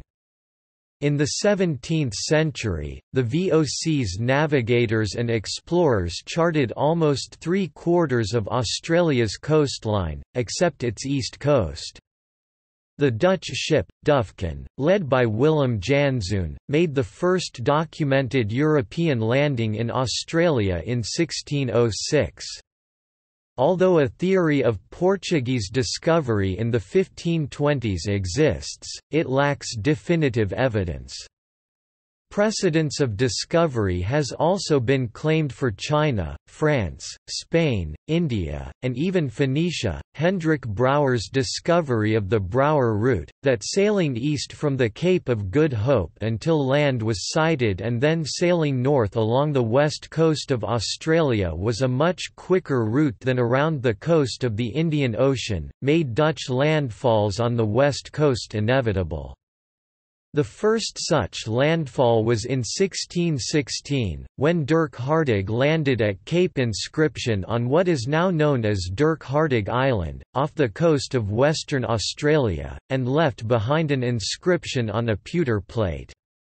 In 1697 the Dutch captain Willem de Vlaming landed on the island and discovered Hartog's plate.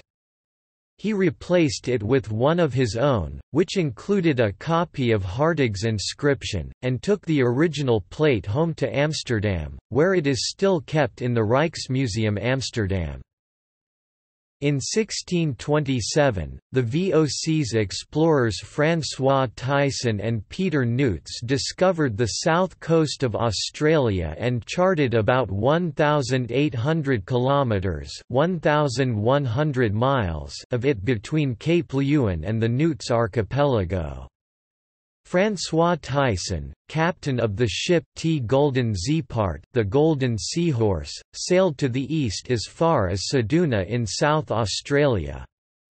The first known ship to have visited the area is the Leeuwin Lioness, a Dutch vessel that charted some of the nearby coastline in 1622. The log of the Leeuwin has been lost, so very little is known of the voyage. However, the land discovered by the Leeuwin was recorded on a 1627 map by Hessel Gerrits, Kaart van Land van Dondrocht, Chart of the Land of Eendracht, which appears to show the coast between present-day Hamelin Bay and Point d'Entrecasteaux. Part of Thijssen's map shows the islands St. Francis and St. Peter, now known collectively with their respective groups as the Nuyts Archipelago. Thijssen's observations were included as soon as 1628 by the VOC cartographer Hessel Gerrits in a chart of the Indies and New Holland. This voyage defined most of the southern coast of Australia and discouraged the notion that New Holland, as it was then known, was linked to Antarctica. In 1642, Abel Tasman sailed from Mauritius and on 24 November, sighted Tasmania.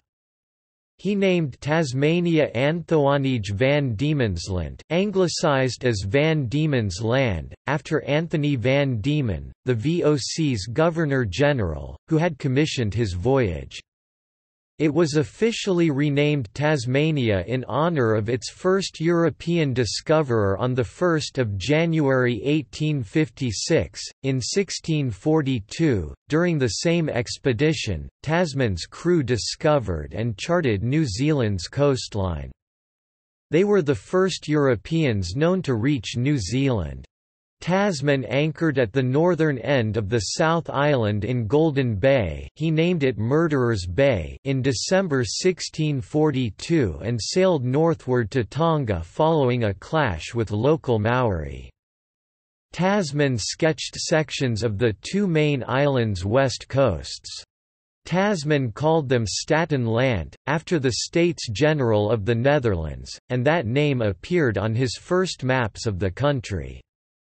In 1645 Dutch cartographers changed the name to Nova Zealandia in Latin, from New Zealand, after the Dutch province of Zeeland. It was subsequently anglicised as New Zealand by James Cook. Various claims have been made that New Zealand was reached by other non-Polynesian voyagers before Tasman, but these are not widely accepted.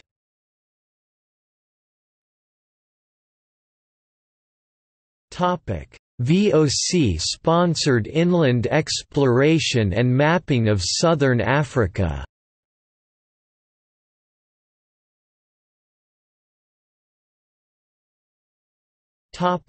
Criticism In spite of the VOC's historic successes and contributions, the company has long been criticized for its quasi-absolute commercial monopoly, colonialism, exploitation including use of slave labor, slave trade, use of violence, environmental destruction including deforestation, and overly bureaucratic in organizational structure.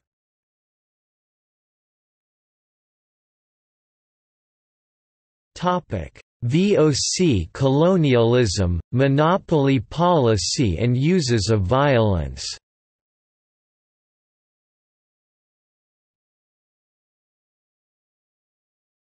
Topic: Dutch slave trade and slavery under the VOC colonial rule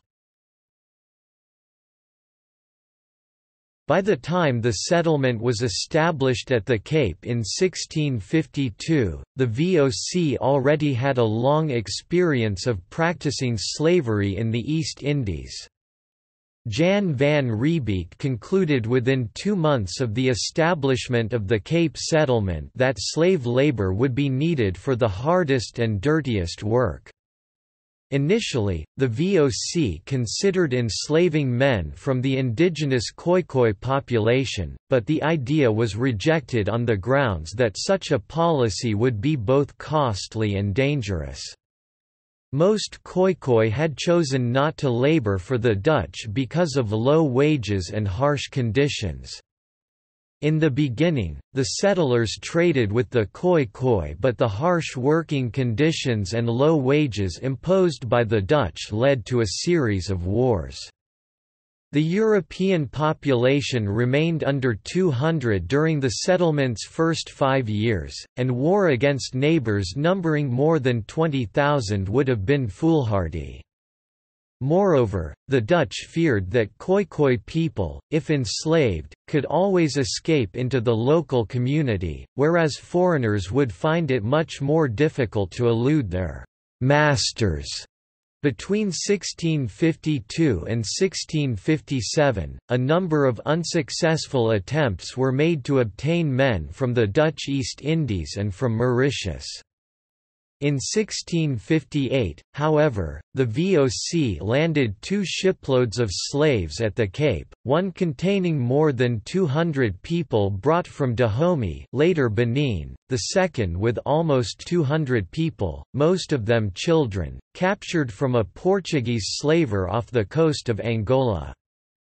Except for a few individuals, these were to be the only slaves ever brought to the Cape from West Africa. From 1658 to the end of the company's rule, many more slaves were brought regularly to the Cape in various ways, chiefly by company-sponsored slaving voyages and slaves brought to the Cape by its return fleets. From these sources and by natural growth, the slave population increased from zero in 1652 to about 1,000 by 1700.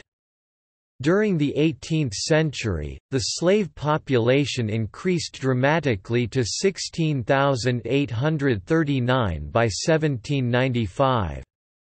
After the slave trade was initiated, all of the slaves imported into the Cape until the British stopped the trade in 1807 were from East Africa, Mozambique, Madagascar, and South and Southeast Asia.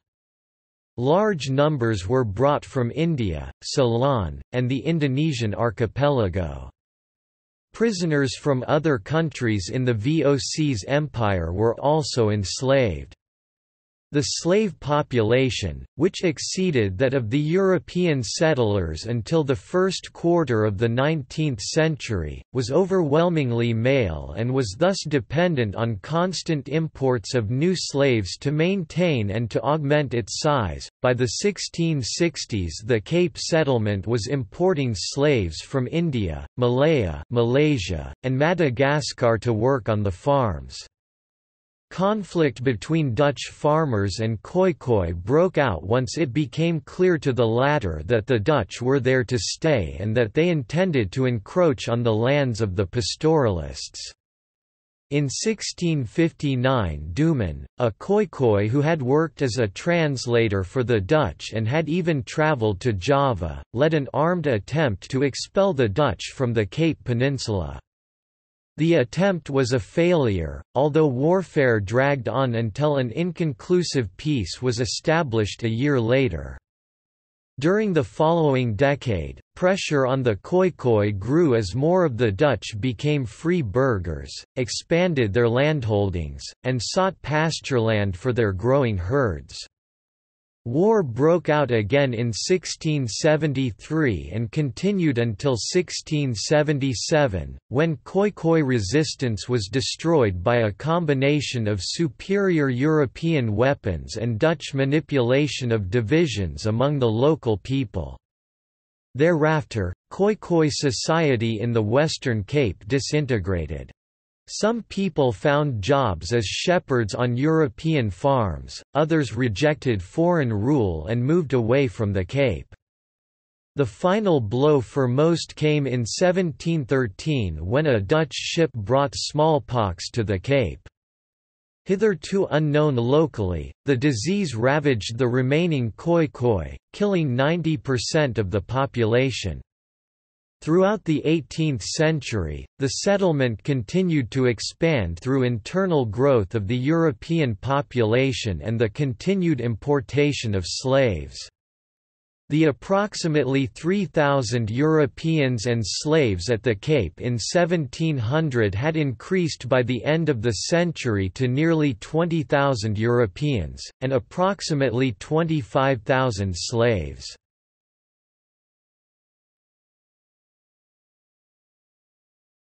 Topic: Cultural depictions of people and things associated with the VOC.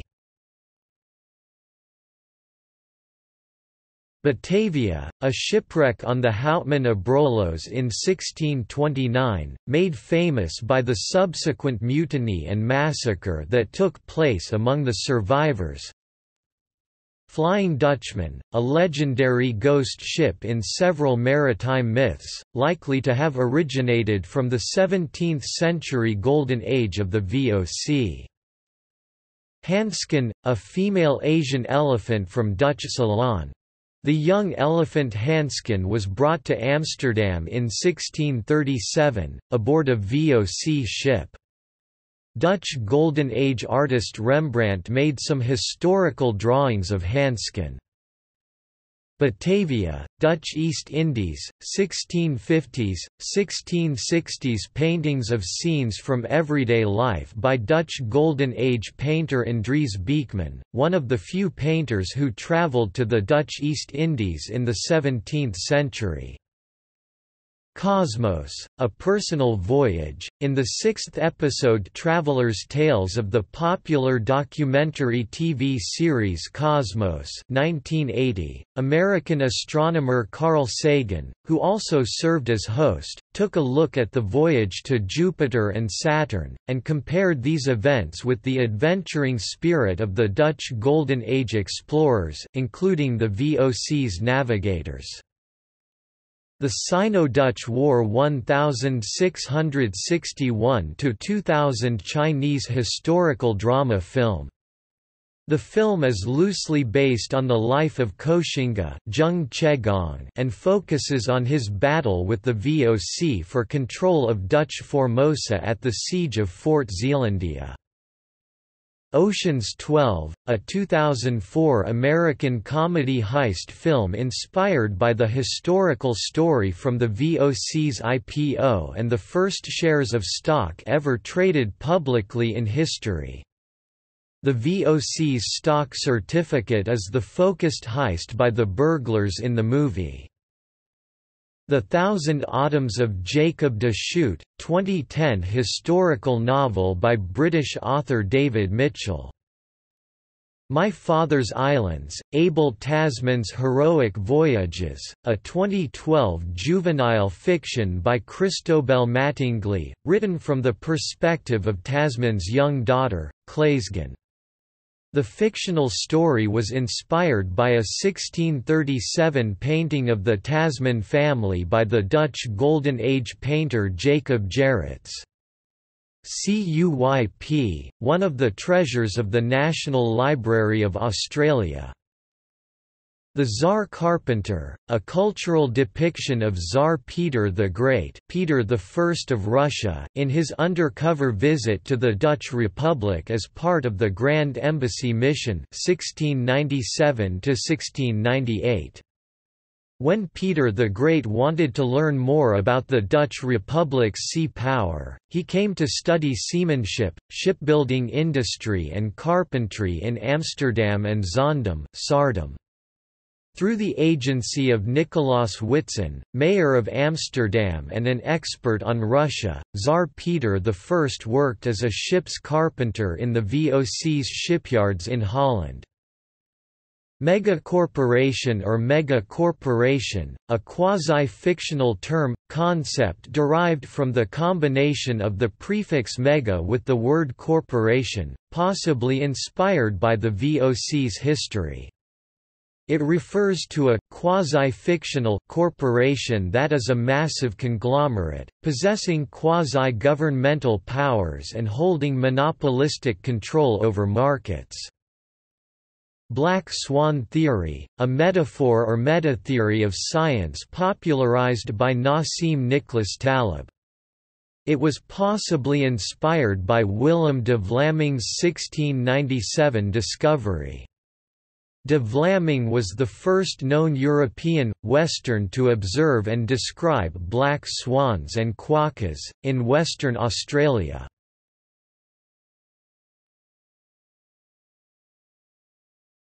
VOC World etymologies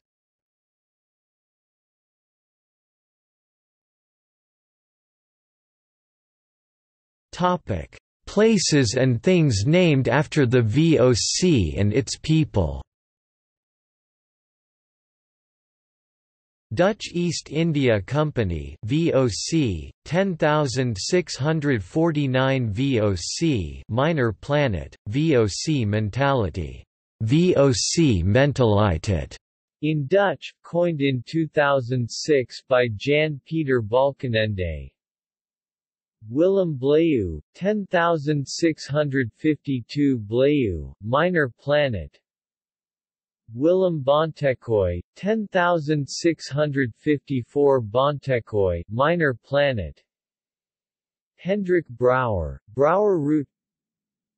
Peter de Carpentier, Gulf of Carpentaria Jan Karstenszoon, Mount Carstens, Carstens Pyramid, Carstens Glacier Jan Pieterszoon Coen, Coen River. Anthony van Diemen, Anthoanij van Diemensland, Van Diemen's Land, Van Diemen Gulf. Maria van Diemen, Maria Island, Cape Maria van Diemen.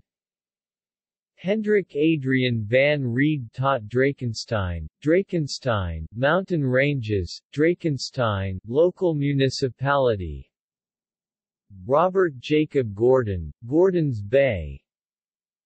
Cornelis Jacob van de Graaf, Graaf Reinet.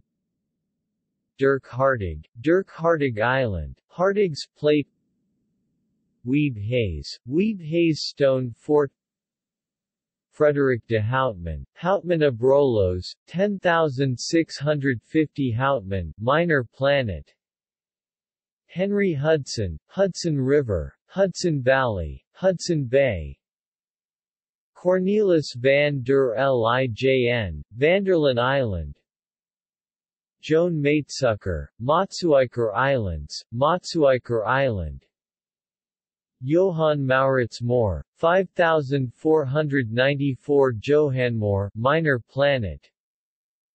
Pieter Nuyts, Nuyts Archipelago, Nuyts Land District, Nuytsia Francisco Pelsaert, Pelsaert Island, Pelsaert Group Petrus Plancius, Planciustalan, Planciusbukta, 10648 Plancius Minor Planet.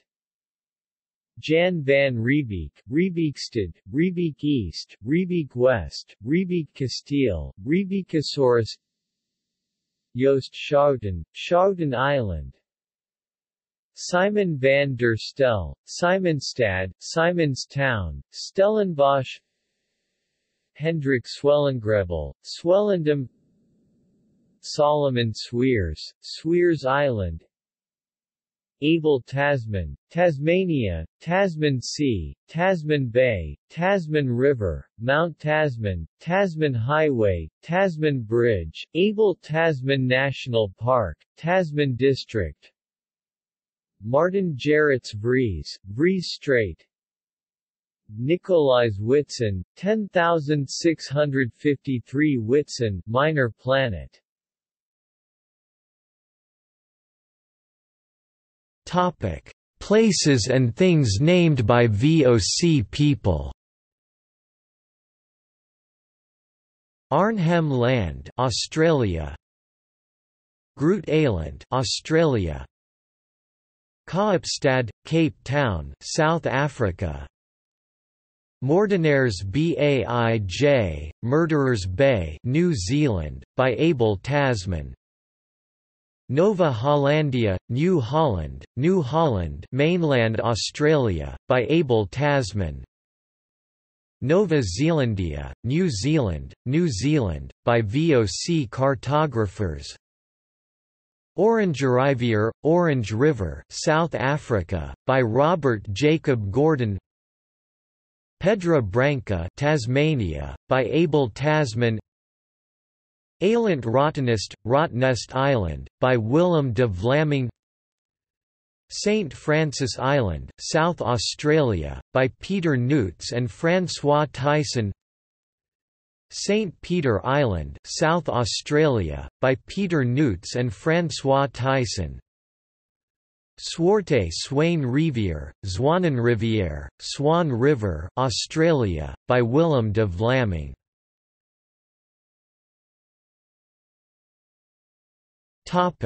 Populated places established by VOC people Populated places including cities, towns and villages established, founded by people of the Dutch East India Company VOC. Batavia Dutch East Indies, modern-day Jakarta Tainan, the oldest urban area in Taiwan, located in southern western Taiwan Kaohsiung formerly known as Takao or Dagayo, located in southern western Taiwan Kaapstad, Cape Town, the oldest urban area in South Africa and one of the first permanent European settlements in sub-Saharan Africa. Constantia, Cape Town's suburb, is considered one of the oldest wine-producing regions in the Southern Hemisphere. Stellenbosch, the second oldest urban area town in South Africa. Swellendam, the third oldest urban area town in South Africa. Graaff-Reinet, the fourth oldest urban area town in South Africa. Franschhoek, a town in the Western Cape Province, South Africa PAARL, the third oldest European settlement in South Africa and the largest town in the Cape Winelands. Simonstad Simons Town, a town near Cape Town, South Africa.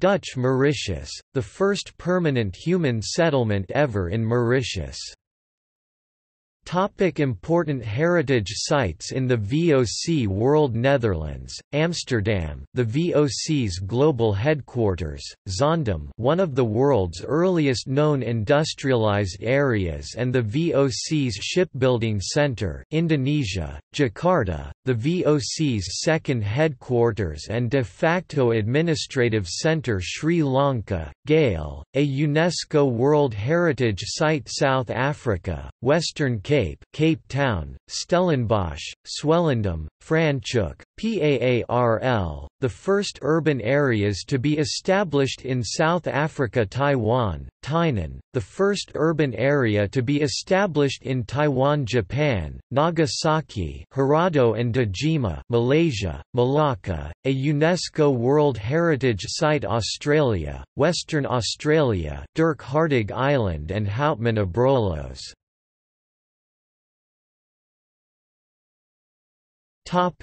VOC buildings and structures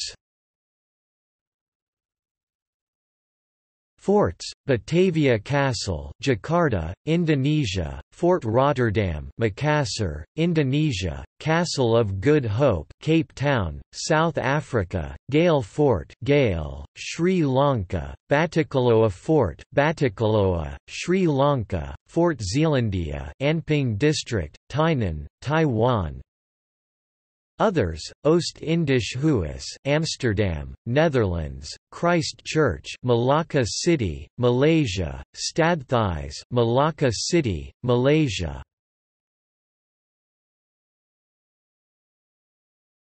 Topic: VOC archives and records.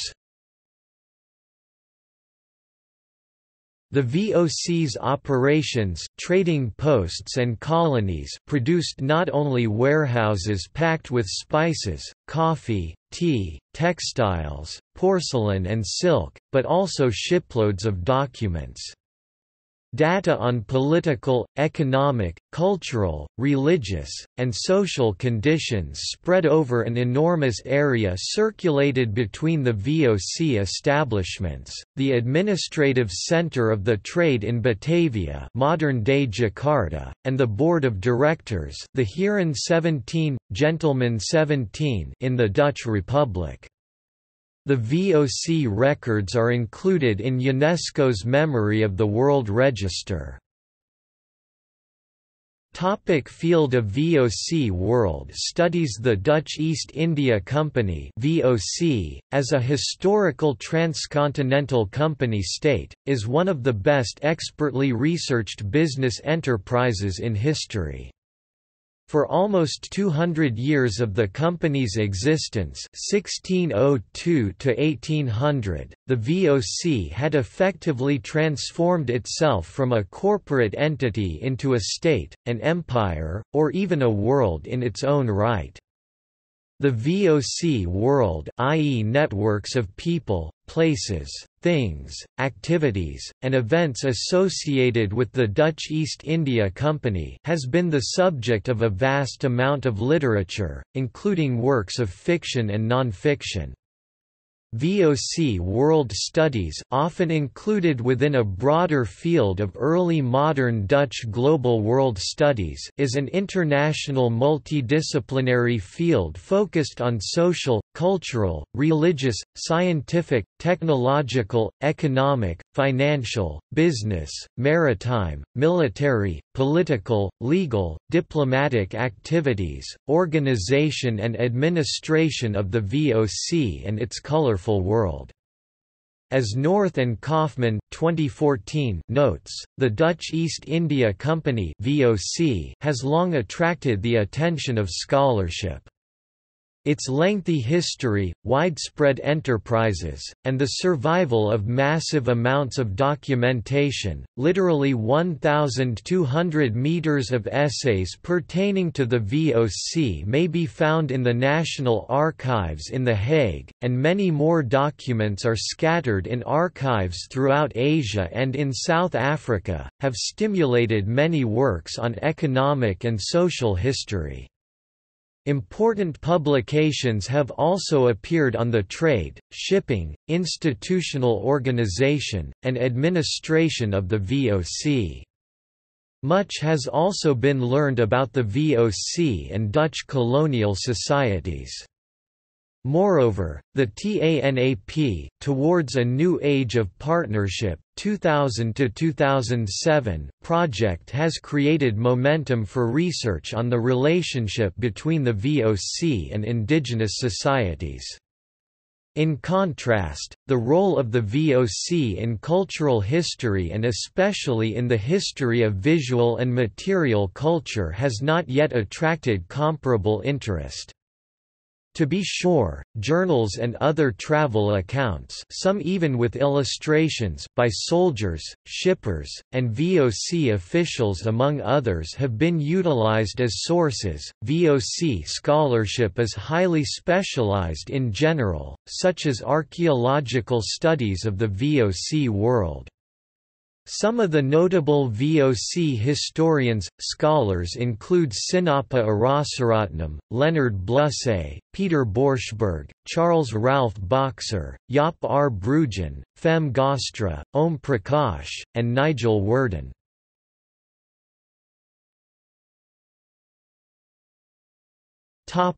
VOC World Archaeology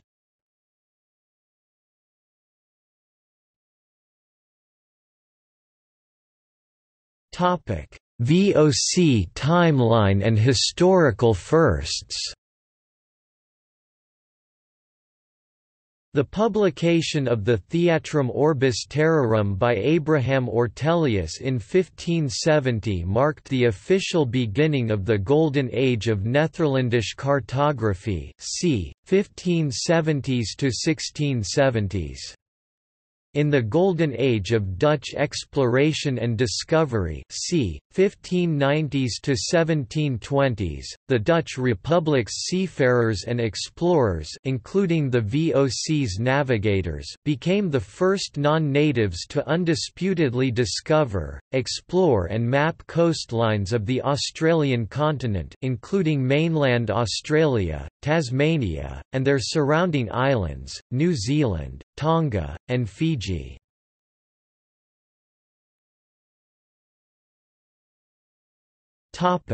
Proto-VOC period with the establishment of the Voorcompagnieën, pre-companies 1579 – Establishment of the Union of Utrecht as the foundation of the Republic of the Seven United Provinces or the Dutch Republic 1580 – Establishment of the Iberian Union 1580 to 1640 by Philip II, King of Spain and Lord of the Seventeen Provinces of the Netherlands, Heer der Nederlanden in Dutch. 1581 – Act of Abjuration. 1585 – Fall of Antwerp 1594–1598, establishment of the Compagnie van Verre, one of the forerunners or the so-called Voorcompagnieën, pre-companies of the United East India Company VOC, 1595 to 1597 first systematic mapping of the far southern sky in history of celestial cartography, 12 Dutch-created southern constellations. In the first Dutch expedition to the East Indies, Dutch navigators Peter Dirks Zoon Keyser and Frederik de Houtman introduced and listed the twelve new southern constellations including Apus, Chamaeleon, Dorado, Grus, Hydrus, Indus, Musca, Pavo, Phoenix, Triangulum Australe, Tucana, and Volans.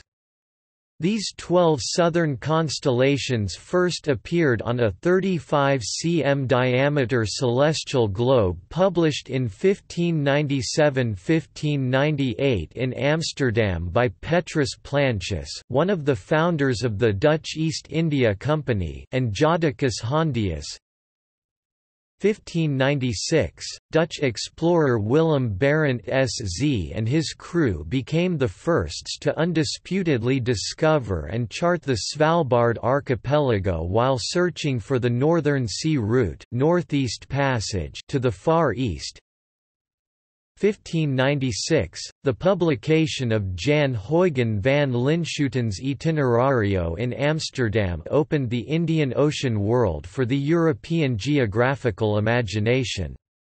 Van Linschoten is credited with publishing in Europe important classified information about Asian trade and navigation that was hidden by the Iberian Great Powers, the Spanish Empire and Portuguese Empire, 1598 to 1600 Second Dutch expedition to the East Indies.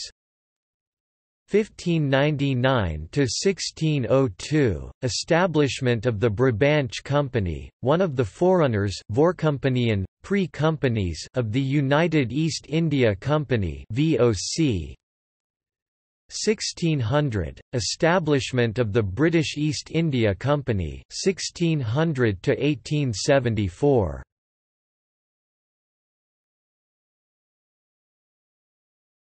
topic VOC era with the amalgamation of the Voorcompagnieën pre-companies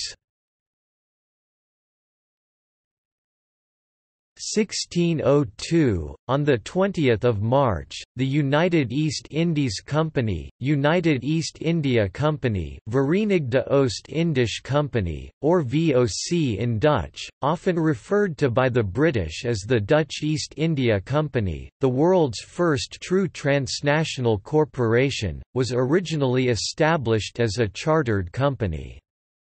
The company was founded from a government-directed consolidation, amalgamation of the so-called Voorcompagnieën or pre-companies. The VOC was the first joint stock company to get a fixed capital stock and the first recorded public company ever to pay regular dividends. 1603, Van Heemskerk's capture of Portuguese carrack Santa Catarina, 1606, the first undisputed documented European sighting of and landing on the Australian continent Nova Hollandia by the VOC navigator Willem Janszoon aboard the Duyfken.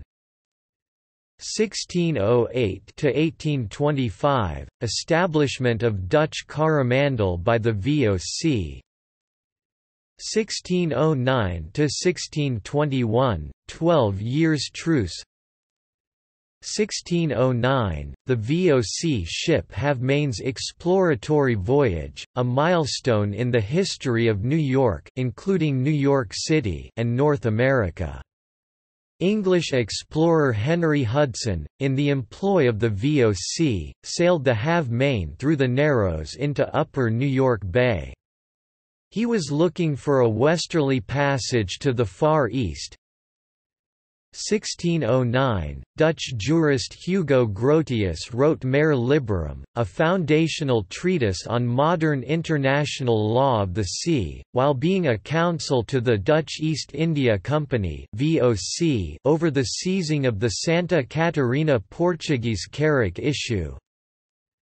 1609, the first recorded corporate governance dispute, took place on 24 January 1609 between the shareholders, investors most notably Isaac Le Maire and directors of the VOC, 1609, the first recorded short seller in history, Isaac Le Maire, a sizable shareholder of the VOC, 1609, establishment of the Bank of Amsterdam Amsterdamsche Wisselbank in Dutch, arguably the world's first central bank.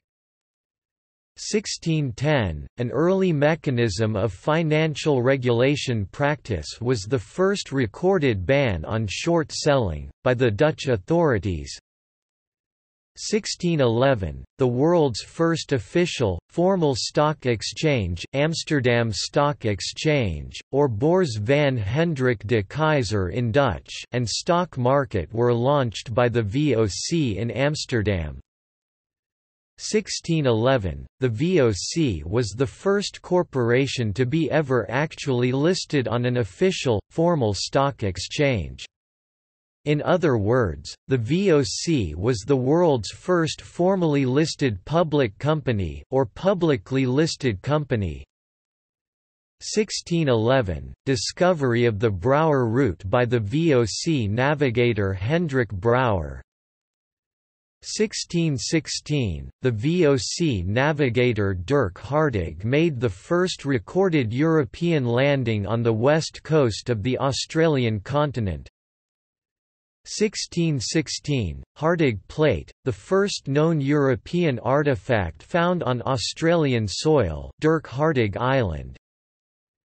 1616–1825, establishment of Dutch Surate by the VOC 1616 – Establishment of the Danish East India Company 1616 1729 1619 – Establishment of Batavia at the site of the razed city of Jayakarta by the VOC 1619, Batavia Castle Kasteel van Batavia in Dutch was built by the VOC 1621 – Establishment of the Dutch West India Company WIC, GWIC in Dutch 1622, on 24 January, Amsterdam-based businessman Isaac Le Maire filed a petition against the VOC, marking the first recorded expression of shareholder activism or shareholder rebellion.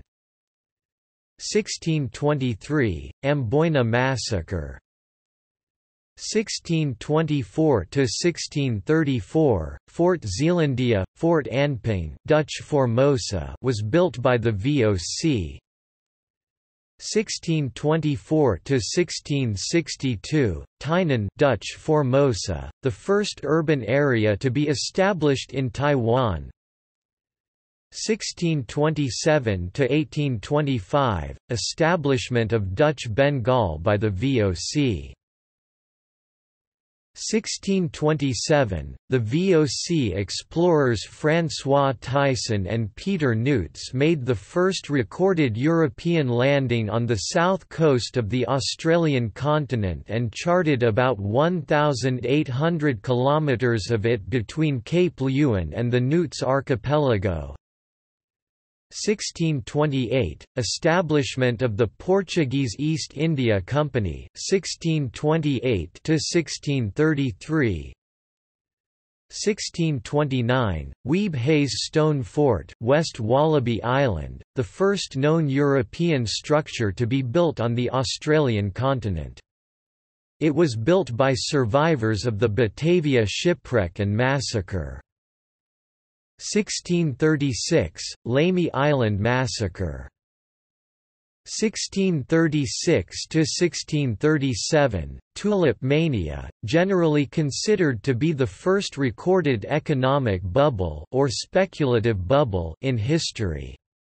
Early stock market bubbles and crashes also have their roots in financial activities of the Dutch East India Company and Dutch Republic. 1637, Hansken, a young female Asian elephant from Dutch Ceylon, was brought to Amsterdam in 1637, aboard a VOC ship.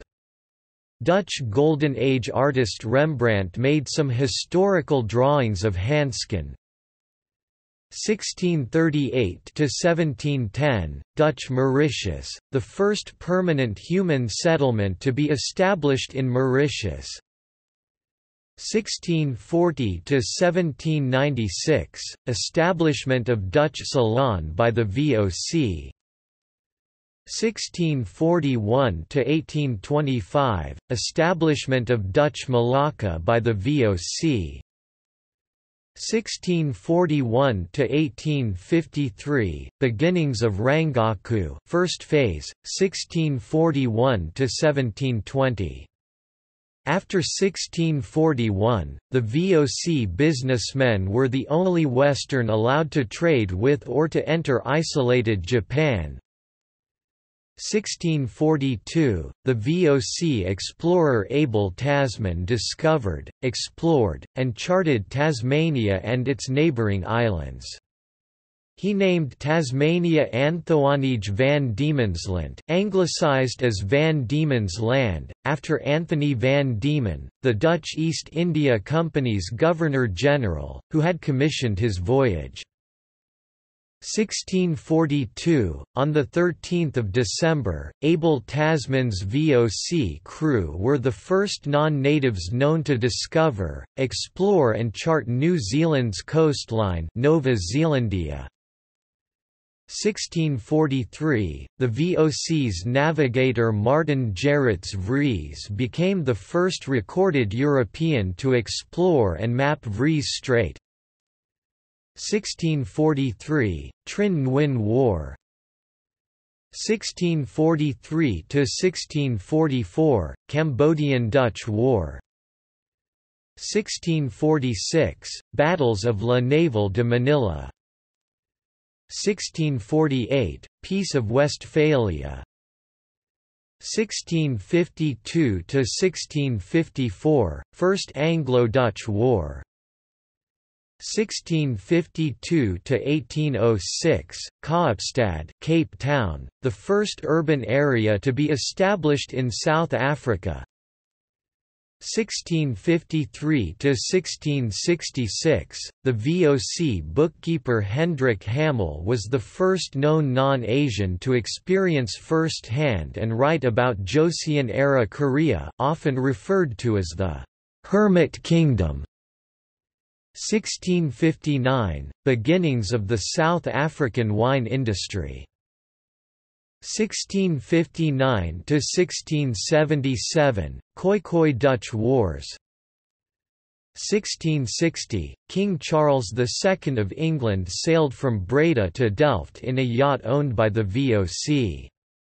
HMY Mary and HMY Bezan both were built by the VOC were given to Charles II, on the restoration of the monarchy, as part of the Dutch gift. 1661–1795, establishment of Dutch Malabar by the VOC, 1662, the publication of Johannes Blaeu's Atlas Maior, first edition, in Amsterdam.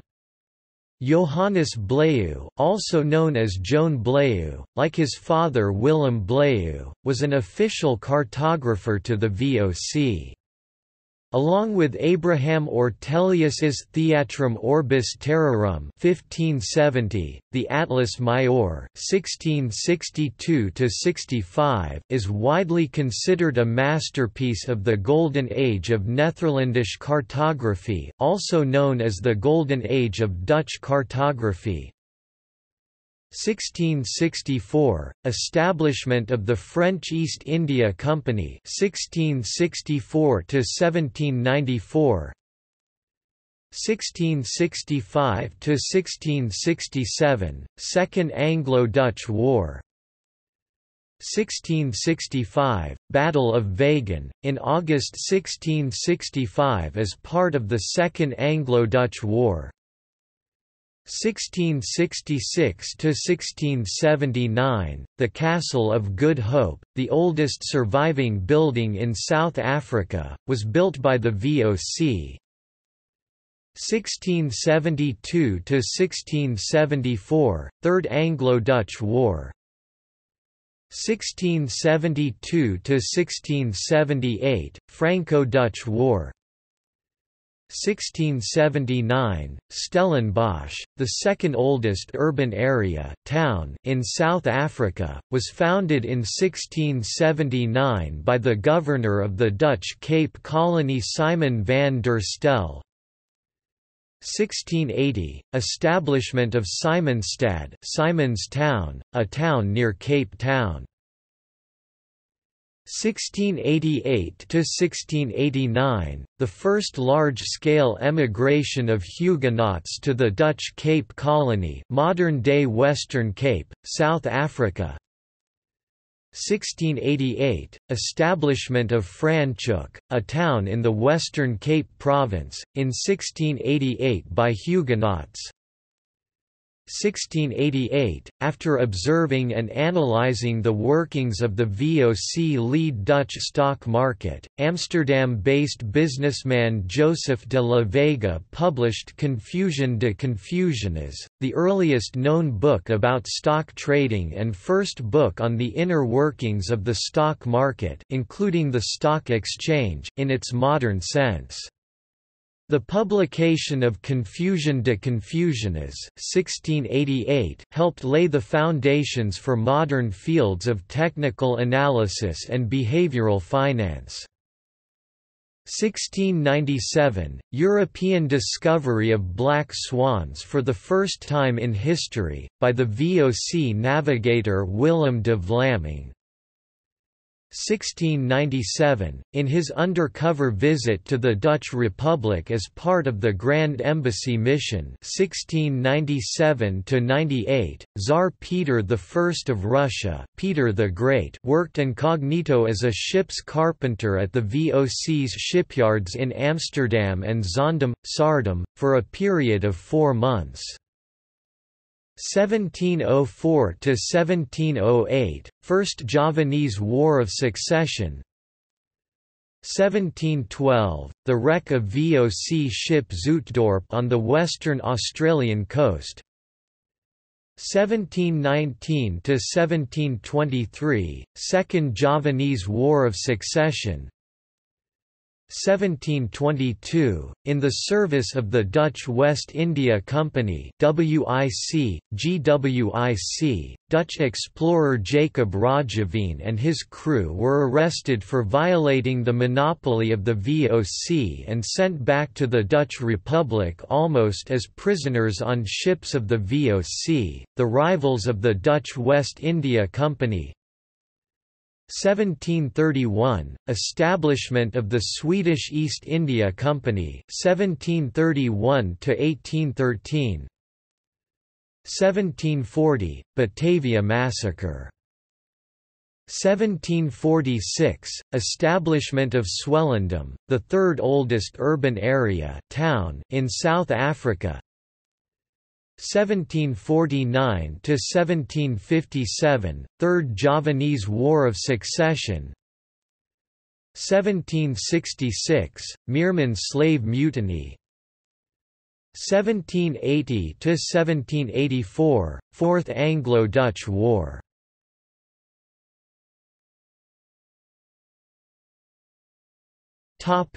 See also Other trading companies in the Age of Sail Notes